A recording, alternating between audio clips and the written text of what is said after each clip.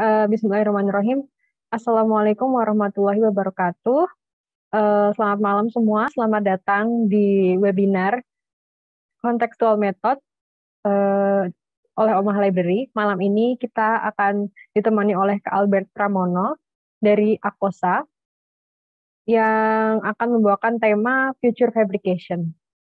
Kita juga akan ditemani oleh Kak Redri Syarif selaku pembina dari Omah Library yang akan memoderatori acara nanti. Uh, perkenalkan saya Hanifah uh, akan menjadi host malam hari ini.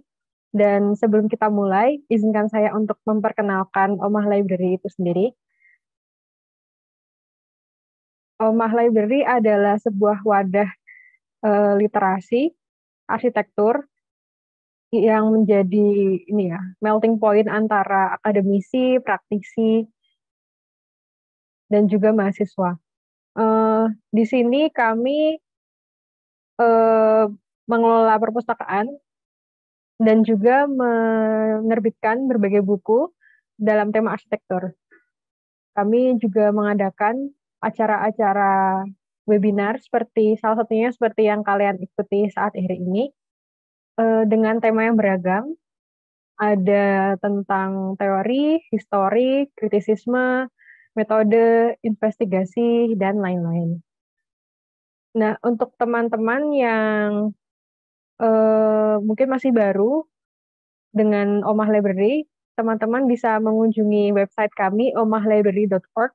Di situ kami telah mengupload beberapa kelas yang telah di, kami laksanakan sebelumnya, seperti Seven Discourse Do and Don't.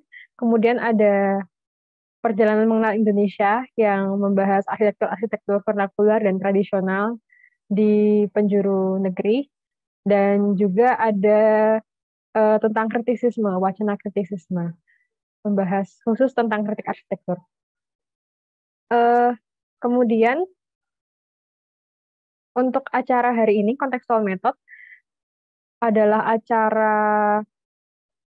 keempat dari tujuh rangkaian acara. Sebelumnya telah ada Pak Singgih Kartono, Pak Eko Prawoto, dan Ket Ong yang masing-masing membahas konteksnya masing-masing gitu ya. Ada yang Pak Singgih yang fokus di village gitu dan tentang masyarakat di sana, sinerginya bagaimana.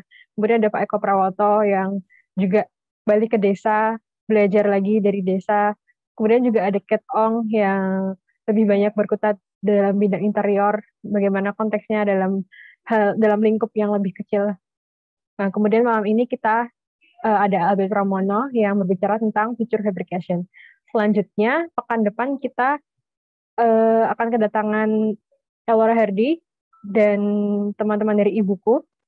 Kemudian di pekan selanjutnya ada Markus Roselip yang membahas bambu juga, namun dalam konteks engineering.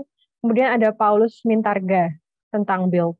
Nah, teman-teman yang belum mendaftar tiga kelas selanjutnya dan tertarik, silahkan menghubungi admin kami, sama kontaknya seperti yang kalian uh, gunakan kemarin saat mendaftar, atau mendaftar lagi melalui bit.ly slash omah underscore cm1. Nah, selain kontekstual metode, kami juga sedang melangsungkan acara Darah Muda. Ini adalah platform bagi tak hanya arsitek tapi ya se semua yang pernah belajar arsitektur dan berkarir di bidang arsitektur dan tentunya masih muda untuk berbagi ceritanya tidak hanya tentang pencapaian-pencapaian saja tapi juga bagaimana usaha dan struggle-nya untuk mencapai hal tersebut. Nah, eh, ada lima episode dan dua telah terlaksana. Ada Kak Akbar Hantar dan juga Kak Ismail Solehudin di uh, dua bulan yang lalu. Nah untuk bulan Oktober ini akan ada Kak Akbar Agni Putra yang sekarang bekerja di Kengokuma Architects. Nah, bila teman-teman tertarik untuk uh, mendengar cerita bekerja di Jepang dan di bawah Kengokuma Architect, teman-teman bisa mengakses link form pendaftaran di bit bit.ly slash omah slash muda tiga seperti yang sudah uh, tertera di poster atau teman-teman lebih selengkapnya bisa nge uh, ngecek Instagram kami di at omahlibrary eh, uh, at omahlibrary ya maaf. Kemudian uh, ini adalah acara yang baru kita mulai inisiasi, namanya Tua-Tua Keladi. Uh, kita ingin mengundang teman-teman uh, yang memiliki platform diskusi atau literasi terkait arsitektur atau urban planning untuk berbagi cerita uh, tentang apa sih keresahan yang dirasakan, kenapa kemudian membuat platform literasi atau diskusi, dan juga sepak terjangnya seperti apa, apa kendalanya, apa harapannya. Nah, ini teman-teman yang berminat bisa mengajukan surat minat ke email kami omahlibrary.reservation@gmail.com eh, atau menghubungi kami di kontak yang tertera di bawah tersebut atau juga bisa menghubungi Instagram kami untuk tanya-tanya dulu juga bisa.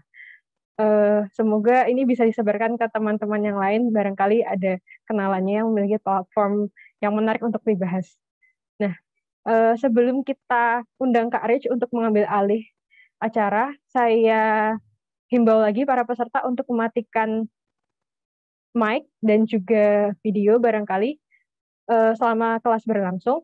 Kemudian juga mengganti username dengan menambahkan nomor pendaftaran di depan nama. Contohnya CM strip 000 Hanifah. Ya. Eh, kami tunggu eh, tanggapan dan juga pertanyaan-pertanyaan di kolom komentar. Bila teman-teman berkenan, nanti kita undang untuk open mic.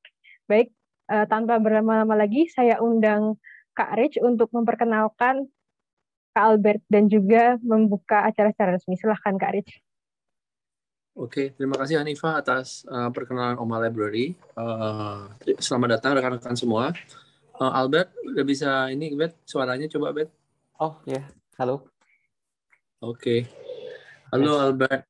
Halo, uh, Nama saya Riri Syarif. Saya akan memperkenalkan uh, pembicara kita hari ini di Oma Library di kelas yang sangat penting hari melihat konteks dari masa sebelum COVID, masa setelah uh, masa COVID dan masa setelah COVID. Jadi uh, dari sinopsis yang ditulis oleh Albert ini terlihat baga bagaimana uh, the future fabrication atau the future context kita bisa kita bisa diskusikan di sini adalah uh, sebuah uh, sebuah konstruk konstruksi tapi juga cara berpikir ya design thinking ya yang bisa uh, tidak hanya ber fokus pada desain, tapi juga uh, technical dan juga bagaimana proses sendiri yang bisa membuat integrasi antar disiplin, ya. Dan begitu maka ada pintu-pintu sekat yang terbuka di mana di seluruh di banyak di tempat di dunia gitu ya. Hal ini menjadi satu hal yang sangat fundamental untuk membuka gerbang-gerbang inovasi, terutama terkait dengan uh, membentuk relasi antara tradisional dan dan industri gitu. Bagaimana uh, uh, Albert Rosa itu sudah uh, punya body of work dari uh, Caldera of Grid uh, arsitek di Toba Lake sampai ke Kumulo ya. Nanti Albert akan mempresentasikan bagaimana uh, relasi sih dan ekosistem bisnis juga sebenarnya. Uh, apa sih yang mau, bagaimana sih klien bisa tertarik gitu ya dan apa sih konteks yang Albert pikir dari antara uh, pre-COVID, COVID dan uh, ya Nah, bagaimana sih caranya berkolaborasi gitu dan tentu saja Akosa sangat terbuka untuk bisa kolaborasi. Nah, untuk Albert sendiri yang tadi saya saya tadi sempat lihat presentasinya membagi uh, konteks uh, presentasinya ke dalam saya saya bilang tiga babak empat babak penting. Yang pertama adalah uh, ada masa pre-COVID dan ada ada post post covid itu bagian ketiga dan bagian keempat adalah semacam the theoretical mindset about uh, how if we can make the mark for the future gitu dan apa sih yang dilakukan oleh uh, lain atau uh, uh, biro-biro ataupun thinker-thinker yang lain terhadap isu-isu uh, perubahan zaman ke depannya. Makanya ini konteksnya adalah future. Kalau minggu lalu kita bicara soal interior, gitu dua minggu yang lalu ya, kita break sedikit ini kita bicara soal masa depan. Nah, mungkin akan sangat gegabah untuk membicarakan masa depan gitu. Tapi kalau kata Benedict Anderson kan the imagination of the future itu ter, ter, terbangun dari proses kita mengarsipkan gitu ya, kita menggapai kita merajut sebuah imajinasi untuk masa depan. Saya pikir soal masa depan, jadi uh, saya dulu Albert uh, bachelor dan mechanical engineering uh, di Manchester. Uh, dia terlibat di dalam beberapa uh, ini gitu ya. Uh, koreksi kalau saya salah ya, Bet. Uh, dan termasuk yes, juga uh, kepala dari uh, Palapa Project tahun 2013 um, dia terlibat di dalam Arum Dalu Belitung uh, Jaya sampai sekarang di Kinetic Farm uh, founder co-founder dan founder dari Akosa gitu ya. Sebuah uh, uh, saya bilangnya future fabrication lab gitu ya. Integrative future fabrication lab. Saya pikir dengan tidak menunggu lebih saya pikir uh, kita uh, Albert selamat malam Selamat malam. Selamat malam ya. Pak Rilrich. iya. Selamat datang. thank you, thank you. Ini suaraku jelas ya di sini. Jelas, Bet. Suara uh, jelas ya. Oke, okay, uh, takut yeah. agak putus-putus tadi. Oke. okay. Saya ya, tunggu dulu ya, Bet, sampai kamu share. Ya. Oke, okay, uh, aku share screen bisa ya? Ini ya. Yes. Oke. Okay. Oke, okay, um, ya. Uh, salam kenal bagi yang lain. Uh, nama saya Albert. Saya sebagai co-founder dari Akosa. Mungkin Uh, saya share screen dulu ya Pak Rich ya di sini ya. Iya, Albert. Langsung aja ya. Oke. Okay. Kita coba sampai full sebentar. Okay. Habis itu waktu dan tempat saya berikan. Oke, okay, okay. silakan Bet dipresentasikan dengan dengan eh sorry belum full screen. Ini full screen. Oh, udah full screen ya. Oke. Okay. Silakan Bet. Oke, okay, baik. Thank you buat uh, waktunya Pak Rich uh, untuk kesempatannya hari ini juga. Uh, Ya, saya ingin memperkenalkan diri. Uh, nama saya Albert. Saya selaku co-founder dari Akosa. Akosa sendiri adalah uh, seperti kata Pak Rich, kita biofilik design bio studio, tapi memang berfokus kepada integration dari multi field tepatnya. Uh, jadi Akosa sendiri, oke sebentar. Akosa sendiri uh, memiliki tiga hal. Mungkin saya perkenalkan diri tentang company saya sendiri ya dulu. Kita uh, memiliki tiga specialty. Pertama adalah prefabricated sustainable building lalu uh, plan ekosistem, dan terakhir ada retail experience. Jadi memang project-project yang kita pegang itu rata-rata adalah project problem solving.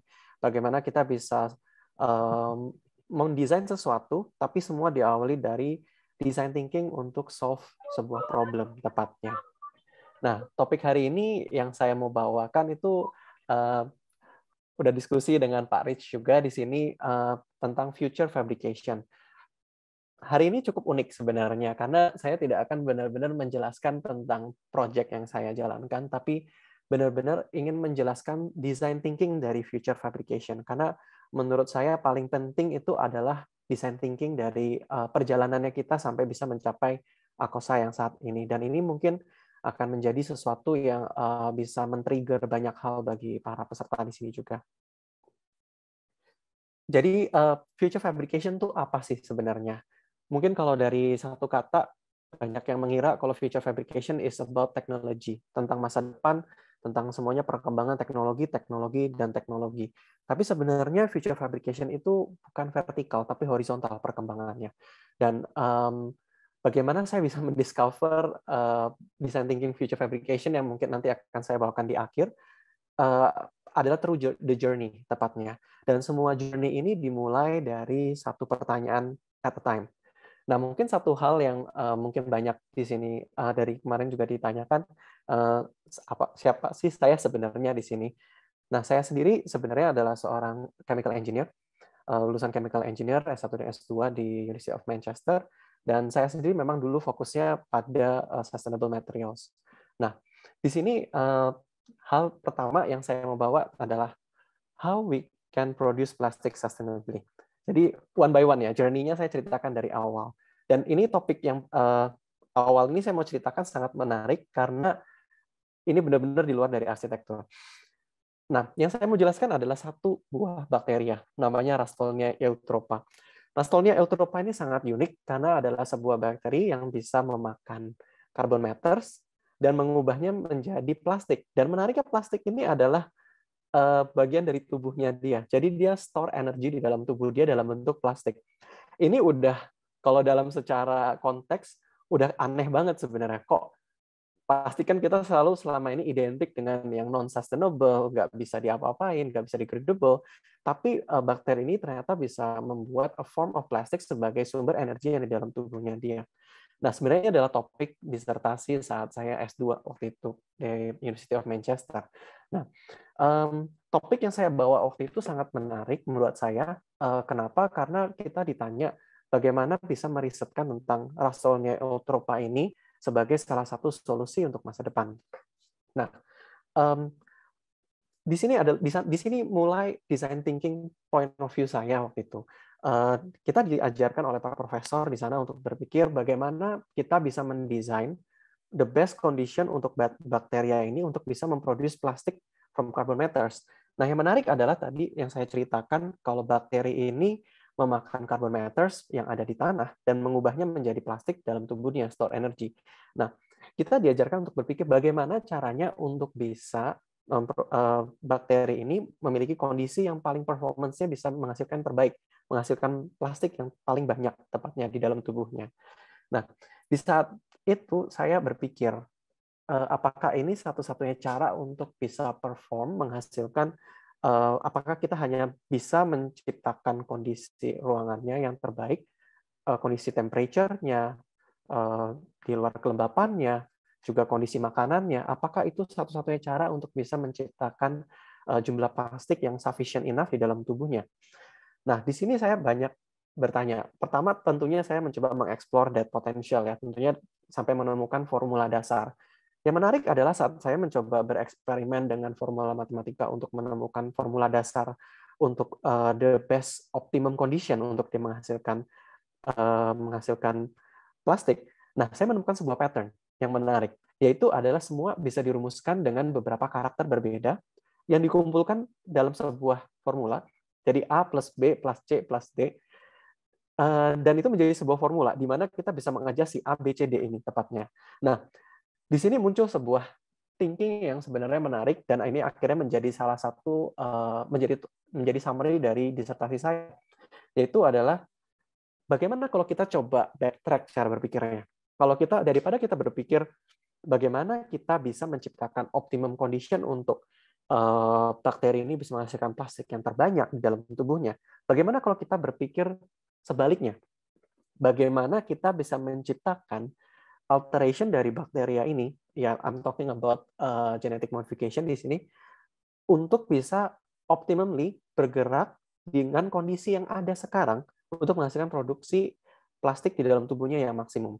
Nah, di sini men-trigger sekali. Uh, ini nggak sengaja kita discover this way of thinking dan ini yang menjadi dasar saya dalam uh, journey saya selanjutnya sebenarnya di sini. Jadi uh, the end of the dissertation saya menemukan sebuah formula ini dan Ya, dan formula ini uh, kita merekomendasikan bagaimana kita bisa mencoba untuk ke depannya dengan adanya biological advancement seperti sekarang dengan kombinasi dengan AI, it's totally possible untuk kita bisa mencoba melakukan modifikasi sehingga instead of adjusting the condition, kita adjust the bacteria. Jadi it's a different point of view tepatnya di situ. Jadi this is the first journey ya dalam uh, journey saya di situ dalam menemukan future fabrication. Okay. the next the, the next phase. Nah, di sini next phase. Nah, lalu saya balik ke Indonesia. Mungkin ini sebenarnya lucu juga karena presentasi ini lebih ke arah seperti yang menceritakan jernih kehidupan saya juga ya sebenarnya. Jadi pas saya saat balik tahun 2015 itu um, ya kita ngelihat Jakarta ya tahun 2015 belum banyak uh, yang namanya vertical farming segala dan uh, dulu saya di Inggris sudah sangat terekspos dengan farming di situ. Dan muncul sebuah pertanyaan baru Eh, bagaimana kita bisa menanam sesuatu yang impossible uh, di tengah kota tapi dengan sangat efisien tapi di tropical city. Nah, selama ini memang pas tahun 2015 itu uh, saya banyak terekspos dengan vertical farming teknologi yang ada di luar negeri. Tapi satu hal yang menarik adalah uh, belum ada satupun yang sebenarnya dulu cocok untuk 100% secara optimal untuk di kondisi Jakarta waktu itu. Lalu pada tahun 2015 akhir itu kita mencoba untuk bereksperimen dengan dasar saya sebagai seorang engineer bagaimana kita bisa mencoba membangun sebuah vertical farming mengkombinasikan beberapa sektor sebenarnya di sini di mana design thinking saya adalah Uh, Oke, okay, pertama kita ingin menanam apa dulu? Itu yang paling penting untuk dijawab. Kita mencoba menanam tanaman-tanaman sayur di tengah kota dengan efisiensi yang sangat tinggi.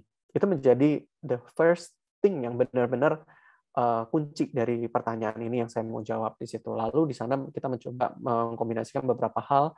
Akhirnya we come out with this modular uh, structure tepatnya. Nah, kita kepikiran untuk membuat sebuah struktur modular di mana yang bisa dibongkar pasang sehingga kalau kita harus memasang ini di mana pun bisa dipasang hanya dalam waktu satu hari di situ. Jadi kita mulai mendesain mulai dari desain dari uh, towernya sendiri. Bagaimana sih tower ini ternyata bisa membuat kondisi tumbuh sayur itu lebih optimum. Dan kita berhasil menanam waktu itu banyak tipe-tipe tanaman seperti uh, strawberry segala di situ. Dan yang nggak mungkin di tengah kota di situ. Baru dari saat uh, problem itu bisa kita menemukan desain desain solutionnya, baru kita masuk ke uh, solution-solution selanjutnya yaitu mulai dari modular construction-nya, atapnya pakai apa ya bisa modular di situ. Dan uh, dan ini adalah model yang waktu itu kita ciptakan. Sangat nggak uh, disengaja sebenarnya kita membangun sebuah bentuk yang sebenarnya udah mirip sebuah rumah dan ini ternyata menjadi satu hal yang uh, kunci dasar awal lahirnya Akosa Company prefabrication kita. Jadi prefabrication kita sebenarnya dimulai dari saat kita quest mencari solusi untuk menanam sayur di tengah kota.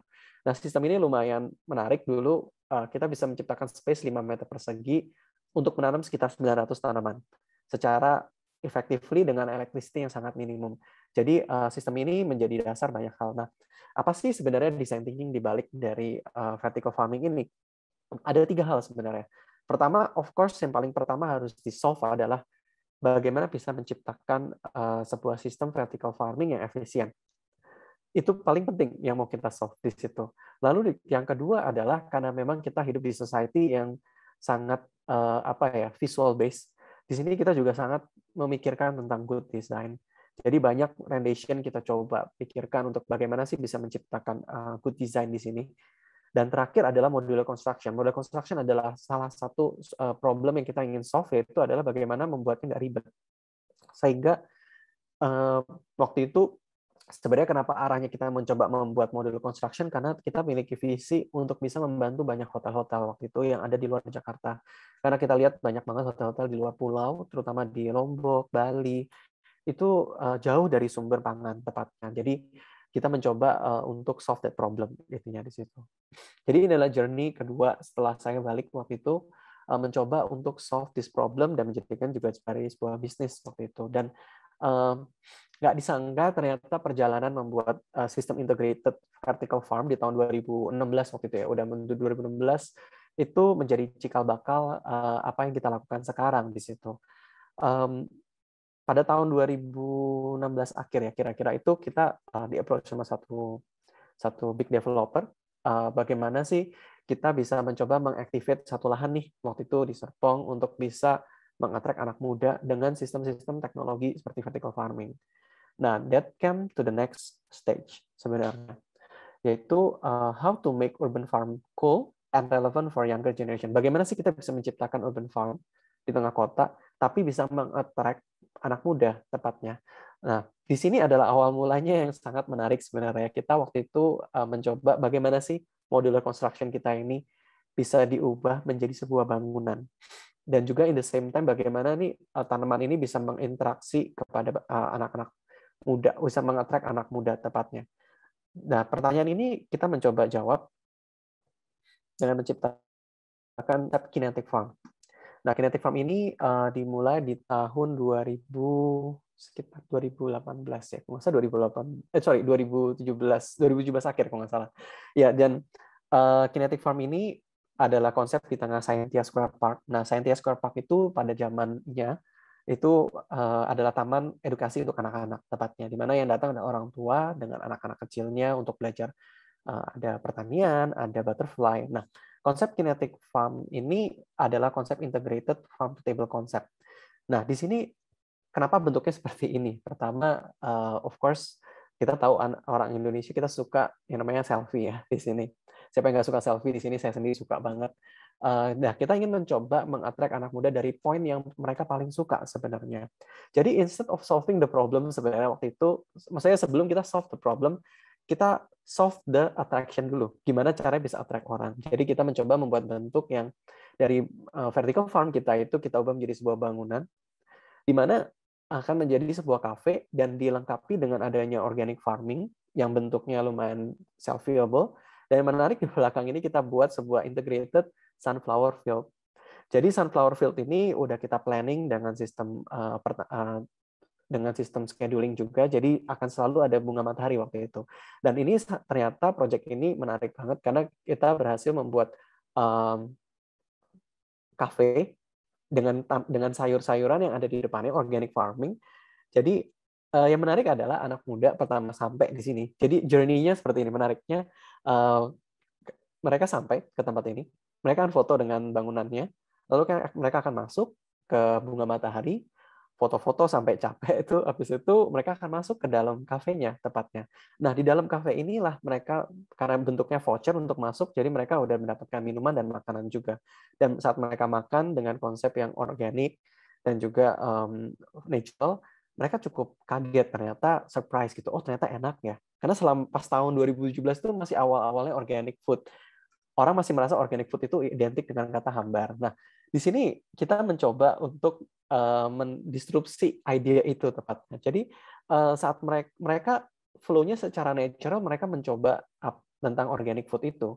Jadi itu menarik banget di sini uh, kita berhasil menarik anak muda untuk mau masuk ke dalam farm panas-panasan bahkan banyak yang pakai heels waktu itu uh, pas awal kita buka di situ dan community terbentuk pelan-pelan. Banyak orang mulai mencoba untuk bikin workshop di dalamnya, banyak orang membawa anak-anaknya, bahkan teman-temannya seumuran yang kuliah, SMA, untuk belajar bertani juga di sini. Jadi ini menjadi sebuah konsep yang uh, berhasil mengattract anak muda. Bahkan kalau kita boleh bilang sekarang di Scientist Square Park itu banyak sekali anak-anak muda yang uh, berkunjung ke sana tepatnya. Nah, design thinking apa yang kita bawa di saat tahap kinetic farm ini? Kinetic Farm ini menjadi our first experiment dan juga our first success dalam membangun modular construction. Jadi kita mencoba berpikir bagaimana dengan konstruksi prefabrication yang udah kita berhasil bawa untuk greenhouse, bagaimana kalau kita bisa elevate levelnya lebih jauh lagi sebagai rumah, tapi dalam bentuk retail untuk cafe terlebih dahulu. Dan ini adalah bangunan yang benar-benar kita pikirkan dari awal untuk penempatannya juga. Sehingga bangunan ini saat sudah nanti pada waktunya mau dibongkar, tidak men, tidak ada footprint di bawahnya. Jadi benar-benar bangunan yang konstruksinya secara modular dengan konsep greenhouse uh, bisa dipindah tepatnya di situ. Dan ini menjadi dasar modular construction kita. Dan uh, digabung juga di sini dengan adanya desain thinking bagaimana membuat organic farming. Organic farming itu selama ini banyak orang banyak arah ya sebenarnya organic farming ada permaculture segala. Kalau kita mencoba mengarahkan menjadi uh, systematic organic farming di mana orang bisa belajar proses. Memang banyak uh, arah yang lebih natural tapi di sini ada tujuannya kenapa kita buat lebih organized. Jadi kita yang orang kota apa terutama kan posisi kinetic farm ini posisinya di tengah kota. Bagaimana kita bisa melihat farm dengan cara kita berpikir di kota jadi sistematiknya dapat dan orang bisa understand very easily tepatnya dan setelah itu juga dengan farm to table F&B, bagaimana ini uh, juga menjadi salah satu hal yang penting esensi dari field yang dimasukin ke dalam konsep uh, urban farm ini. Jadi uh, ada beberapa faktor yang menjadi penentu suksesnya dari kinetic farm ini dan itu adalah dari cross field di hal ini dari bangunan organic farming dan juga terakhir dari F&B tepatnya.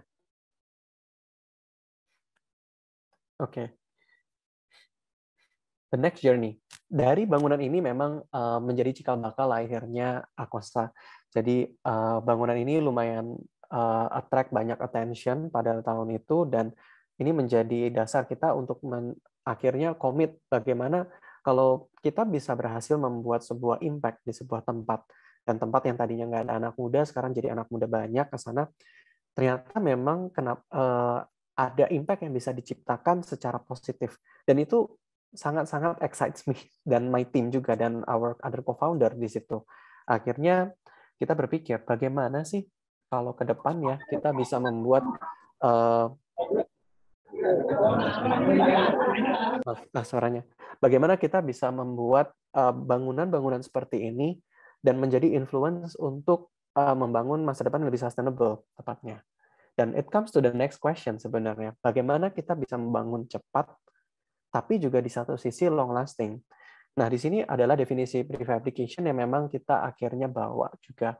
Uh, jadi definisi bangunan yang cepat tapi juga sustainable dan juga awet tepatnya. Karena selama ini persepsi dari prefab pada tahun-tahun itu adalah bangunan semi permanen yang bisa rusak hanya dalam waktu enam bulan sampai satu tahun. Dan uh, ini menjadi dasar kita dalam membangun banyak modular construction sejak itu. Sejak tahun 2018 itu uh, selanjutnya kita mulai melaju bereksperimen. Tim kita pun uh, mulai lengkap, mulai dari botanis juga kita juga memiliki uh, tim arsitek juga di dalam company kita dan juga kita memiliki banyak partner di sana. Dan di sana mulailah kita mencoba untuk memberi solusi tepatnya. Jadi kita membuat prefabrication di dalam company kita itu bukan berdasarkan pada oh ini keren sebenarnya. Tapi awal mulanya adalah dengan problem yang dibawa dari setiap project sebenarnya. Menjadi problem dasar dan ini menjadi problem solution-nya tepatnya. Nah, project yang di atas sebelah kiri ini sangat menarik untuk dibahas sebenarnya.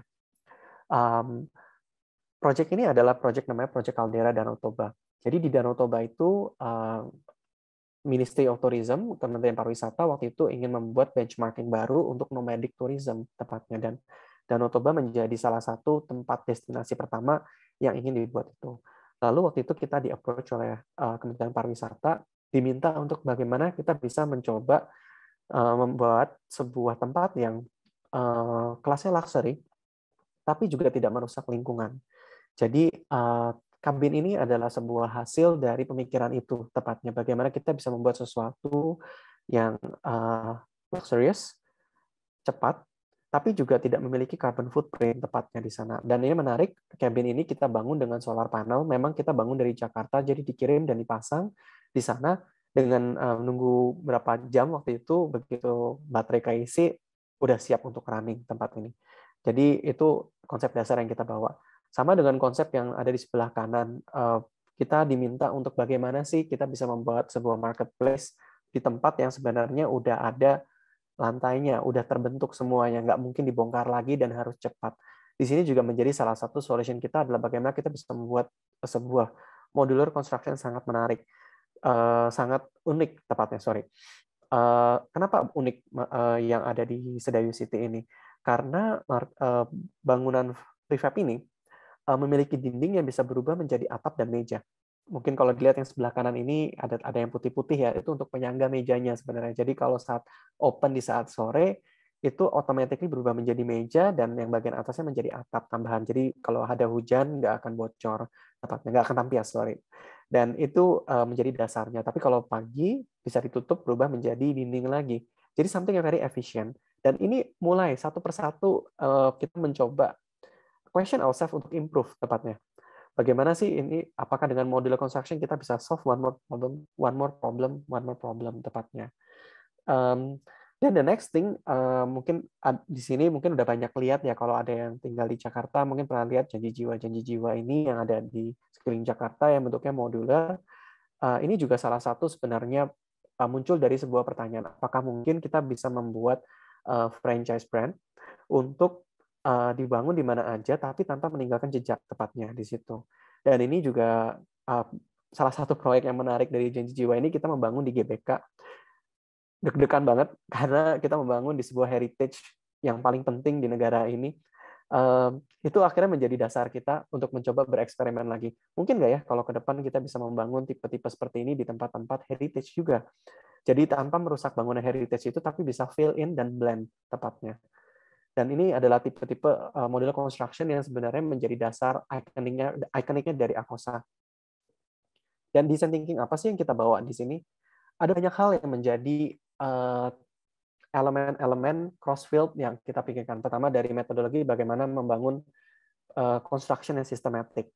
Modular construction yang kita jalankan adalah systematic construction sebenarnya, di mana kita bisa memplanning dari awal sehingga kan kalau kita construction konvensional kita tahu ya kadang kita bawa pasir kita taruh dulu di sana jadi lumayan ada banyak pollution tepatnya di area Uh, tapi dengan sistem modular kita bisa mencoba mengurangi di situ, meskipun tetap ada secara konvensional juga. Selalu selain itu kita juga mencoba uh, mengaplikasikan new material tepatnya. Nah, indahnya di prefabrication construction itu banyak sekali new material everyday, tepatnya yang kita bisa bereksperimen. Banyak company asing juga company lokal yang mencoba untuk membuat material-material ini dan uh, kita fortunate enough banyak bereksperimen dan terekspos dengan material-material ini. Jadi kita banyak belajar tentang material baru juga. Selain itu juga tentang community. Nah, model construction ini juga kita mencoba mengconnect dengan community. Contohnya tadi yang kinetic farm, bagaimana kita bisa membuat sesuatu yang impactful kepada the community. Juga dengan efisiensi juga tepatnya di situ. Oke. Okay. Selanjutnya uh, topik yang saya mau bawa the next the, the next phase adalah this question sebenarnya. How modular construction bisa meredefine construction dan design thinking untuk development ke depannya. Nah, ini sebenarnya menarik banget karena buat saya sorry saya banyak banget kata pakai kata menarik ya karena everything is interesting for me sebenarnya uh, apalagi tentang pengembangan ya um, ya setelah banyak melakukan construction di bidang prefab uh, individual buildings uh, muncul sebuah question juga di dalam uh, tim kita. Mungkin nggak ya kita bisa melakukan sesuatu yang mendisrupt market dengan bangunan prefabrication. Bagaimana prefabrication itu secara building, modular construction, bisa menjadi solusi untuk uh, pengembangan sustainable development. Karena memang dari core kita, dari dulu suka banget yang namanya save the earth, gitu tepatnya. Nah, um, ya mungkin banyak yang tahu tentang Project Kumulo ini. Nah, banyak yang mengira Project Kumulo ini adalah desain responsif dari COVID-19. Tapi sebenarnya proyek ini adalah fase di mana saat kita bereksperimen di tahun 2019. Nah, pada 2019 itu kita uh, ketemu dengan sebuah developer di BST. Bagaimana sih uh, kita bisa mengaktifkan sesuatu yang belum ada di sana? That was the problem yang mau di-solve sebenarnya. Gimana apa apa bagaimana bisa mengaktifkan sesuatu yang baru yang belum pernah ada di BSD waktu itu. Nah, jadi memang waktu itu menariknya adalah uh, kita diberi space di Breeze. Di sana kita mencoba untuk uh, apa yang bisa kita lakukan ya untuk bisa attract anak muda di situ. Dan di sini kita sadar setelah kita melakukan research juga secara community segala memang banyak komunitas anak muda itu rata-rata kalau di daerah Serpong yang di sini mungkin banyak yang anak Serpong pasti tahu nih tahun-tahun 2019 rata-rata ke Gading Serpong atau Kalam Sutra tepatnya. Dan di uh, di BSD waktu itu belum terlalu banyak komunitas anak muda tepatnya. Uh, banyak reason sebenarnya, tapi satu hal yang menarik adalah memang belum ada satunya satu, satu belum ada tempat di mana anak-anak muda itu bisa berkumpul menjadi satu untuk harnessing the community. Nah, uh, project ini lahir dengan tujuan itu dan karena posisinya di Debris kita juga ingin tempat ini bisa menjadi suatu tempat yang um, mensupport Debris juga. Jadi memiliki simbiosis mutualisme. Jadi akhirnya we come out with a concept di mana kita ingin membangun uh, microshop. Microshop ini di mana kita bisa membuat setiap uh, yang mengisi memiliki karakter yang bisa mereka keluarkan. In the same time yang kita pikirkan adalah very simple waktu itu. Bagaimana bisa meng-reduce cost AC sebenarnya di mana AC itu hanya di setiap ruangan yang dimiliki oleh tenan. Daripada kayak kalau mall pada umumnya kan AC, ada AC sentral di situ. Nah, kita mencoba untuk melakukan itu. Dan juga karena selain itu kita berada di tengah area yang udah banyak pohon sebenarnya yang saat kita ingin membangun. Jadi eh, beberapa hal ini adalah menjadi dasar itu. Lalu eh, saat kita mendesain Kumulo ini juga kita berkolaborasi. Karena kita dasarnya adalah engineering firm, kita juga berkolaborasi dengan dua studio itu. Jadi bagaimana kita bisa sama-sama solve dan juga membuat sebuah impian baru di BSD untuk anak muda bisa berkumpul dan bisa harnessing the community tepatnya. Nah, yang nggak kita sangka, project ini uh, kita mulai bangun dengan sistem prefabrication itu di bulan November 2019 dan selesai tepat di bulan Maret 2020 begitu selesai the next week is lockdown sebenarnya. Jadi kita nggak sengaja banget itu lockdown itu dipakai waktu itu memang untuk eh, tenan mengisi tempatnya terlebih dahulu ya. Jadi untuk prepare. Jadi memang waktu itu awal-awal uh, menarik banyak yang mulai mau mencoba sistem microshop karena waktu itu belum banyak ya tahun 2019 awal. eh sorry 2020 awal belum banyak yang mau mencoba microshop sebagai retail space dan um, ternyata karena lockdown itu uh, selama satu bulan selama vakum satu bulan itu membuat banyak orang takut untuk pergi ke dalam indoor mall sehingga mereka mencari option untuk mau ke cari tempat yang bisa jalan-jalan tapi juga outdoor. Nah, Kumulo ini nggak sengaja menjadi satu tempat yang di tempat mereka berkumpul dan merasa aman karena terletak di area yang sangat natural tepatnya. Nah, ini menjadi uh, cikal bakal ya nama Akosa itu sendiri sih. Memang kita uh, mencoba uh, membuat suatu outdoor compound yang sustainable. Jadi kita waktu itu ini sudah didesain sebelum COVID sebenarnya. Jadi kita nggak sengaja ternyata it's very effective ya. Dan itu banyak anak anak-anak muda, orang tua ya setelah mereka selesai kerja atau WFH mereka ke sini untuk berkumpul sama keluarganya dan mereka merasa aman karena bisa social distancing juga. Bahkan dulu pas pas kita membuat kumulo itu sampai ada joke uh, karena pas lagi heboh-hebohnya namanya social distancing ya. Oh kalau di kumulo aman karena bangunannya juga social distancing gitu. Jadi ini satu joke yang menarik juga sih waktu itu lahir di uh, di sini. Nah uh, untuk ngebahas sedikit tentang design thinkingnya kita saat ngebangun membangun kumulo itu sendiri ada berapa thinking yang dari beberapa field berbeda dari perspektif yang berbeda. Pertama, bagaimana kita bisa membuat harnessing community, bagaimana bisa membangun community-nya, juga bagaimana bisa membangun bangunan yang sustainable, yang semi permanen sebenarnya, yang seandainya sewaktu-waktu mau diubah jadi taman lagi masih bisa dipindahkan. Lalu juga eh, bagaimana membuat sebuah compound yang bisa energy saving. Tapi juga in the same time bagaimana kita tidak merusak alamnya di situ. Dan satu sisi lagi adalah bagaimana kita bisa membuat sebuah area yang sangat fokus kepada customer, kenyamanan customer. Dan ya kita dari awal sebelum COVID pun kita sangat percaya kalau alam will take place as a trend tepatnya karena memang alam itu penting banget untuk kesehatan mental segala tepatnya di situ. Jadi inilah dari thinking dari Kumulo Compound. Ya ini contoh-contoh yang uh, bangunan di sana kita mencoba membangun dengan konsep yang very low carbon footprint-nya juga di situ. Oke, okay, what is next?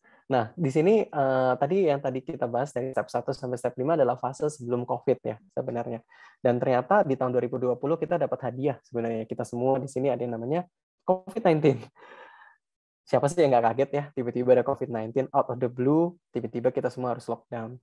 Dan uh, menarik banget sebenarnya menarik lagi again itu kata favorit saya kayaknya uh, menarik sekali ternyata uh, 2020 adalah momen di mana semuanya tuh push forward tepatnya. Jadi um, sebenarnya udah banyak isu sebenarnya. Dan COVID-19 sebenarnya kalau kita boleh bilang ya mungkin ini ini opini sih sebenarnya.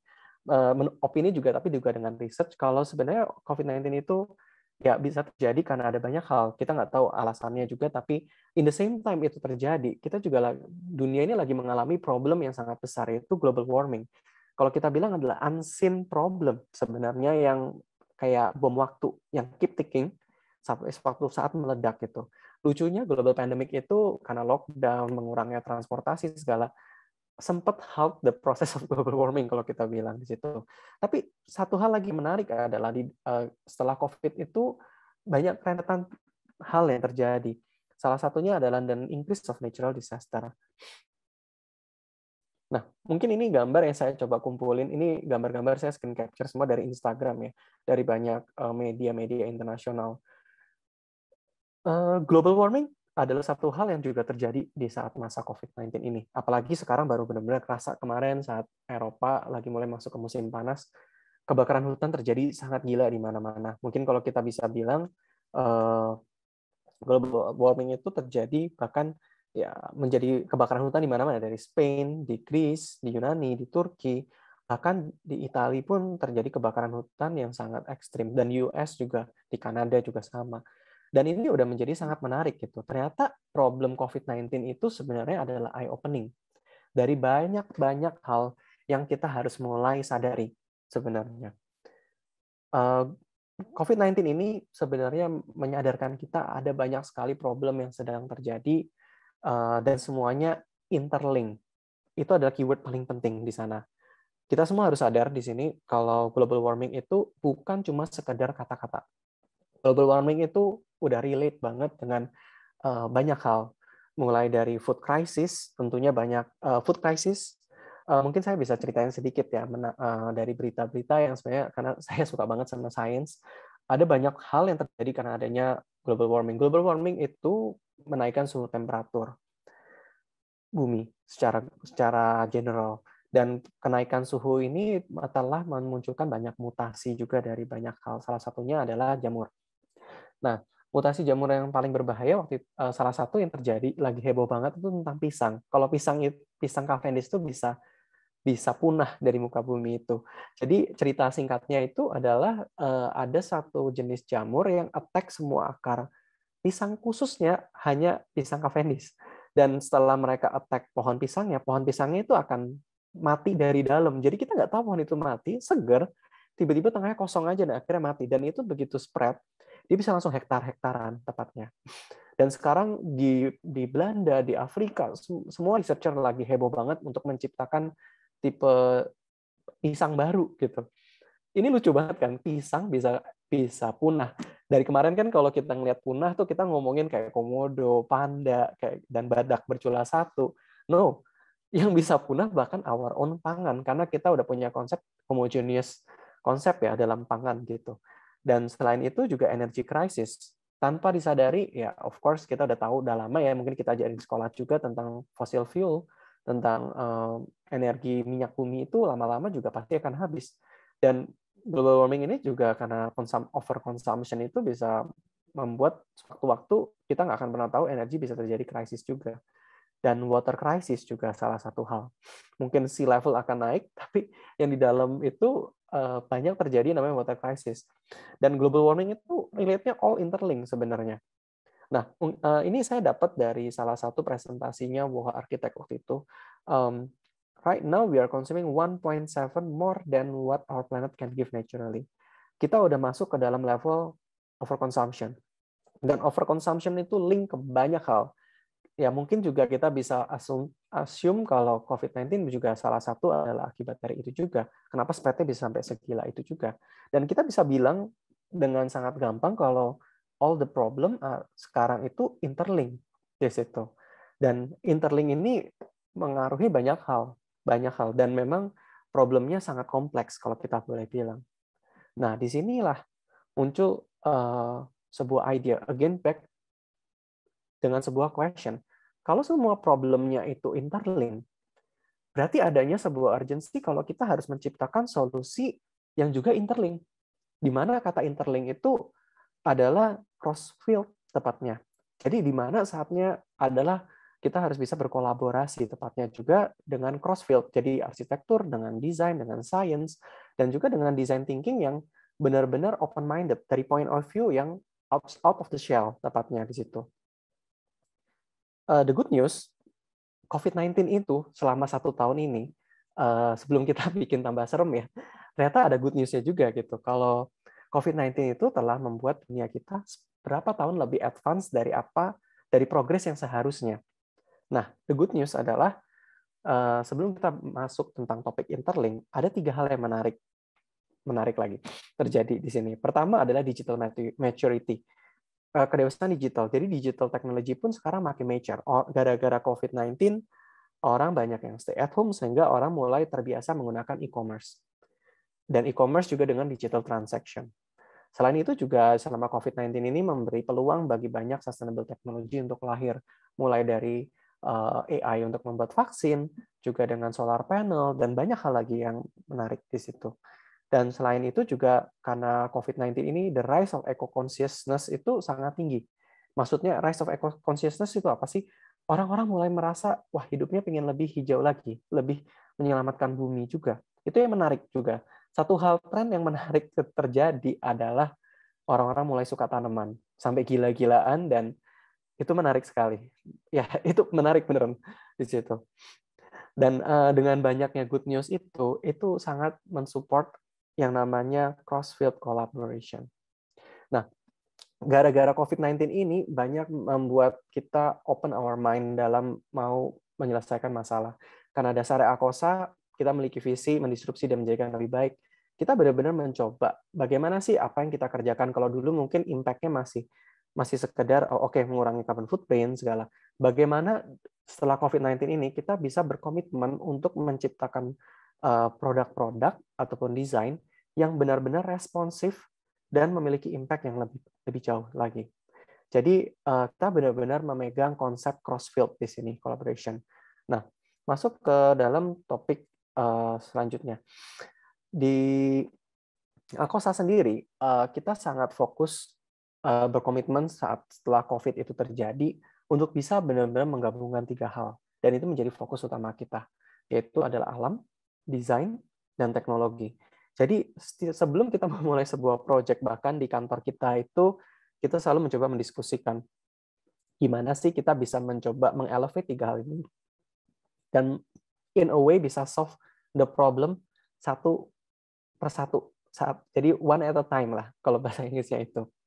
Nah, salah satu proyek pertama yang kita kerjakan saat setelah pandemi terjadi adalah kinetic pumping. Jadi kinetic farm itu adalah nama yang kita bawa. Memang waktu itu kita membantu untuk memanage di Serpong, lalu eh, kita membuat juga di PIK. Nah, kinetic PIK ini adalah sebuah konsep yang berbeda. Eh, di saat dulu kita berhasil membawa anak muda untuk mulai suka untuk farming, kinetic farm memiliki visi yang lebih dalam lagi. Jadi Kinetic Farm ini adalah sebuah divisi uh, tanaman yang dibawa Akosa. Dan memang kalau Akosa sendiri B2B, Kinetic Farm ini adalah B2C, di mana kita bisa mencoba men-trigger customer uh, individual untuk bisa hidup lebih hijau juga di situ.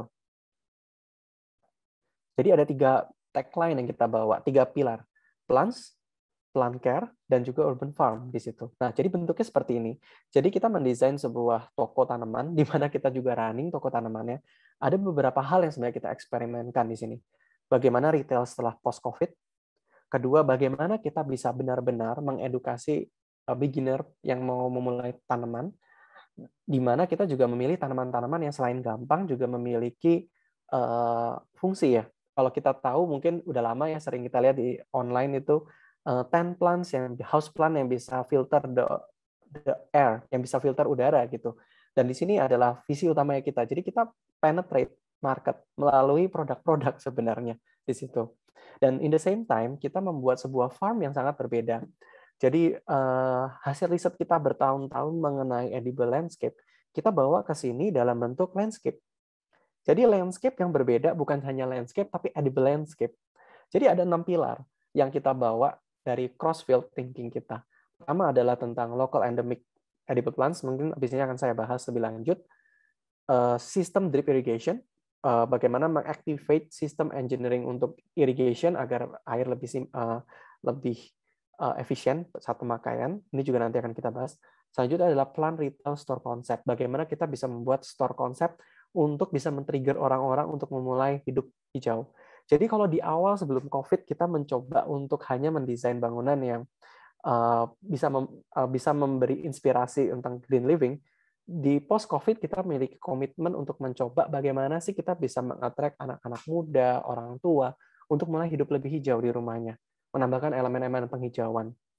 Terus selanjutnya juga kita mencoba berkolaborasi dengan brand. Jadi kita mengkurasi brand-brand uh, untuk kita ajak masuk yang memiliki konsep eco-conscious juga tepatnya. Dan juga di sini kita ada beberapa hal yang kita lagi develop, contohnya seperti tissue culture lab.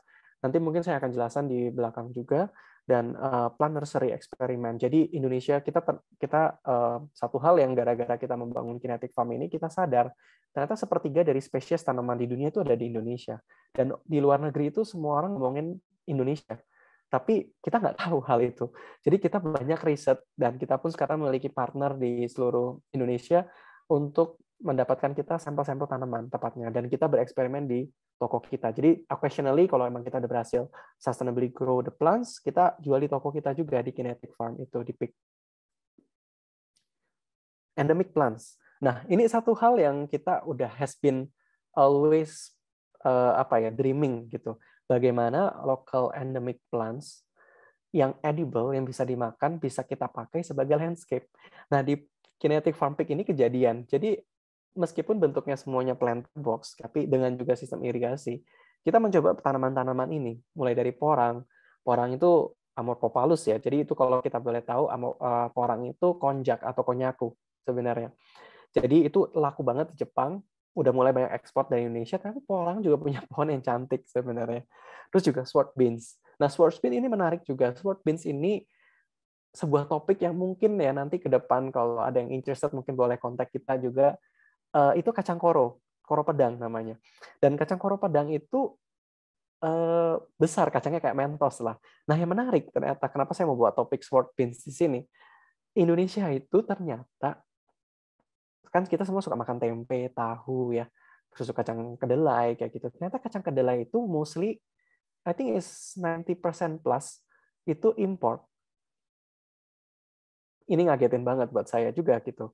Dan ternyata memang kedelai itu yang dari Indonesia itu uh, belum ada yang professionally doing it well karena ada beberapa faktor. Salah satunya bukan kedelai itu juga nggak terlalu cocok untuk bisa tumbuh di Indonesia yang besar-besar gitu tepatnya. Dan ternyata Indonesia juga banyak kan punya kacang-kacangan yang bisa dibahas sebagai tempe sebenarnya ataupun sebagai uh, alternatif protein. Dan sword bean adalah salah satunya yang apa ya masih under value kita bilang sekarang. Dan ini kita tanam juga ada beberapa alasan kenapa kita tanam endemic edible plants. Pertama, of course, kita mau coba untuk sebagai landscape di kota bisa nggak sih kita bikin edible. Tapi di satu hal lagi adalah kita pengen pelajari gitu. Kalau tanaman ini tumbuhnya gimana ya dari biji sampai dia matinya cycle-nya berapa lama. Karena selama ini belum ada yang namanya guidebook di Indonesia mengenai edible landscape. Bagaimana sih kita bisa menciptakan edible landscape? Kalau kita taruh tanaman untuk edible, bedanya kalau tanaman eh, hias itu evergreen. Jadi ya selamanya akan hidup terus. Tapi kalau tanaman pangan itu tidak. Nah itu menarik untuk dibahas juga kan sebenarnya. Tapi nggak pernah ada database tentang hal ini. Dan di sini yang kita mencoba di situ. Dan uh, Blue Pea juga sama. Itu kalau di Jawa, di Jogja ya mungkin banyak yang di Jogja sini tahu bunga telang ya. Kalau nenek-nenek tuh suka banget pakai itu buat ngobatin mata bayi karena bisa bikin clear the eye katanya. Bisa bikin mata jadi jernih kalau sakit mata gitu. Dan memang itu bunganya memiliki kandungan antioksidan yang sangat tinggi dan cantik dia bisa menjadi green wall tapi memang dia punya umur di situ. Jadi bagaimana sih kita bisa mencoba mengembangkan endemic local plants sebagai landscape di situ? Automatic drip irrigation. Nah memang ini sistem yang diciptakan eh, di Israel untuk bisa uh, mengefisiensikan pemakaian air di gurun pasir.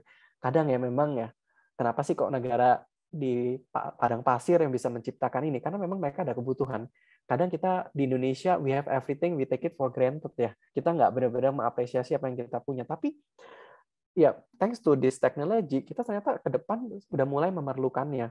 Bagaimana kita bisa mengefisienkan pemakaian air? Terutama misalnya contoh kita mau bikin sebuah landscape di uh, di tempat yang nggak ada air gitu. Air kan mahal nah ini bisa menjadi solusi salah satunya. Dan juga kita bisa uh, mencoba mengefisiensikan jumlah orang juga untuk penyiraman dan air yang kebuang juga berkurang di situ. Nah, jadi design thinking dari future fabrication di sini yang kita bawa ada empat. Pertama adalah tentunya presisi precision agriculture irrigation. Terus di satu sisi juga karena kita tahu eh, COVID banyak yang stres, kita mencoba ingin menerapkan wellness interior design. Interior design yang bisa membawa jiwa jadi tenang tuh kayak gimana sih? Ternyata dari banyak research membuktikan kalau tanaman itu bisa membantu. Nah, tapi kak, apakah cuma tanaman aja ditaruh di dalam? Nah, itu kunci yang kita terus fine tuning di kinetic farm. Itu eksperimen labnya kita sebenarnya di situ.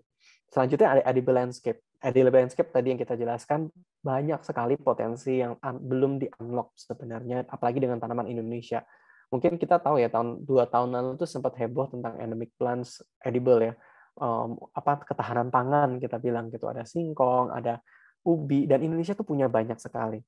Dan selanjutnya adalah kolaboratif creative partners. Nah, Kinetic Film Farm ini kita nggak cuma membuat eksperimen untuk retail, tapi kita juga menjadikan ini menjadi platform untuk berkolaborasi.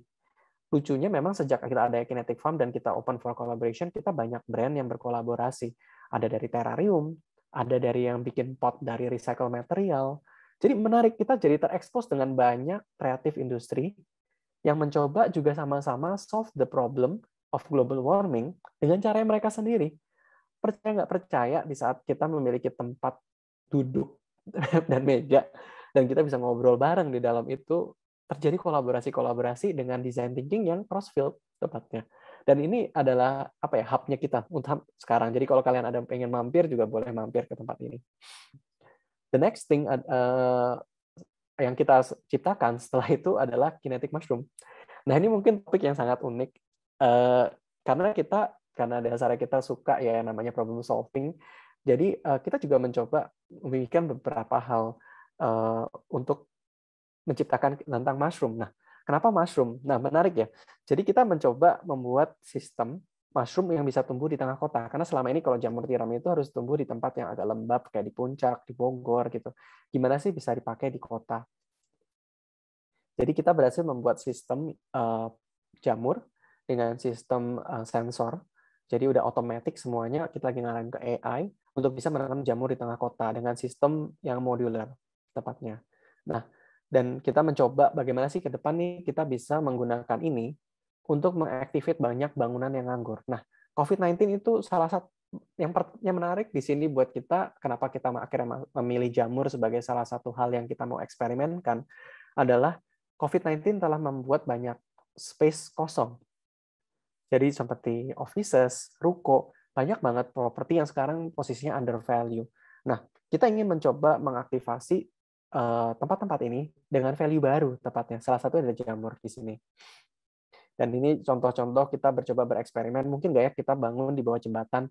Kolong jembatan kan biasanya ya tahu lah ya bagaimana sih kita bisa mengubah itu menjadi tempat menanam jamur segala dengan sistem modular juga. Jadi ada beberapa thinking yang kita bawa di sini. Pertama, mungkin nggak ya kita mengaktifasi mengaktifasi undervalue property ataupun under under value space memiliki punya new life tepatnya. Terus bagaimana kita bisa mengactivate juga uh, menanam di tengah kota. Nah, di situ juga space efficiency. Tetap kita berpikir meskipun kita ingin mencoba mengaktifasi, tapi kita juga harus berpikir bagaimana bisa efisien dan uh, sustainable secara bisnis. Tapi di satu sisi juga kita berpikir gimana caranya ini bisa diintegrasikan dengan architectural piece tepatnya. Dan juga gimana caranya ini bisa solve food production in the same time. Dan juga menciptakan uh, suatu produksi uh, food production yang juga healthy nutrition juga gitu dan jamur menjadi pilihan kita. Uh, di sini kita mencoba juga untuk uh, lebih jauh lagi ya. Jadi uh, kita find out ternyata sistem jamur yang kita buat itu bisa buat untuk bikin tempe juga. One day, one day. So, uh, kenapa kita kasih nama Eden Project? Suatu saat ketika memang diperlukan untuk bisa menciptakan darurat gitu ya. Nah, kita mencoba propose waktu itu untuk bikin sebuah sistem modular di mana roofnya itu untuk menanam kacang koro pedang. Kalau kita lihat sini semuanya vertical farm ya, garis-garis lurus karena kacang koro pedang itu tumbuhnya vertikal. Dan di dalamnya itu kita bisa membuat sistem AI untuk menanam jamur or even growing tempe sebenarnya karena tempe is a highly nutrition. Jadi sewaktu-waktu ada ada perang atau gimana ya kalau kita ngestok tempe itu lumayan aman lah, nggak akan malnourished lah gitu di situ. Jadi kita mencoba mendesain modul yang bisa menjadi sebuah pattern. Jadi di sini ada beberapa design thinking dari cross field ya, mulai dari modular building, dari botaninya, kita coba gabungkan menjadi satu. Jadi imagine if we have this in the middle of the city, di tengah kota. Bagaimana kita bisa membuat ini tepatnya? Dan ini adalah beberapa hal yang kita coba pikirkan secara engineering mungkin nggak ya? Jawabannya mungkin sekali di situ. Jadi ini adalah untuk mushroom. Dan ya kalau kita boleh summarize, ada empat hal. Weather control system, efficient space development, attractive design, dan modular construction engineering design. Jadi ini kalau kita udah bilang crossfield thinking juga tempatnya.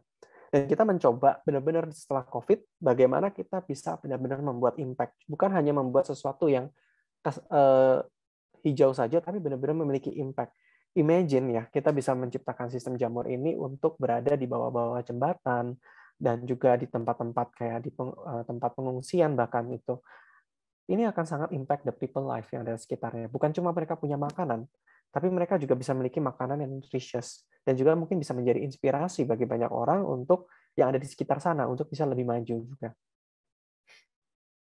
Nah, selanjutnya ini juga adalah salah satu uh, yang kita buat Eh, dan ini juga salah satu proyek kebanggaan kita. Lalu proyek ini sebelum COVID, tapi sangat relevan dengan post-COVID, jadi kita masukin di sini.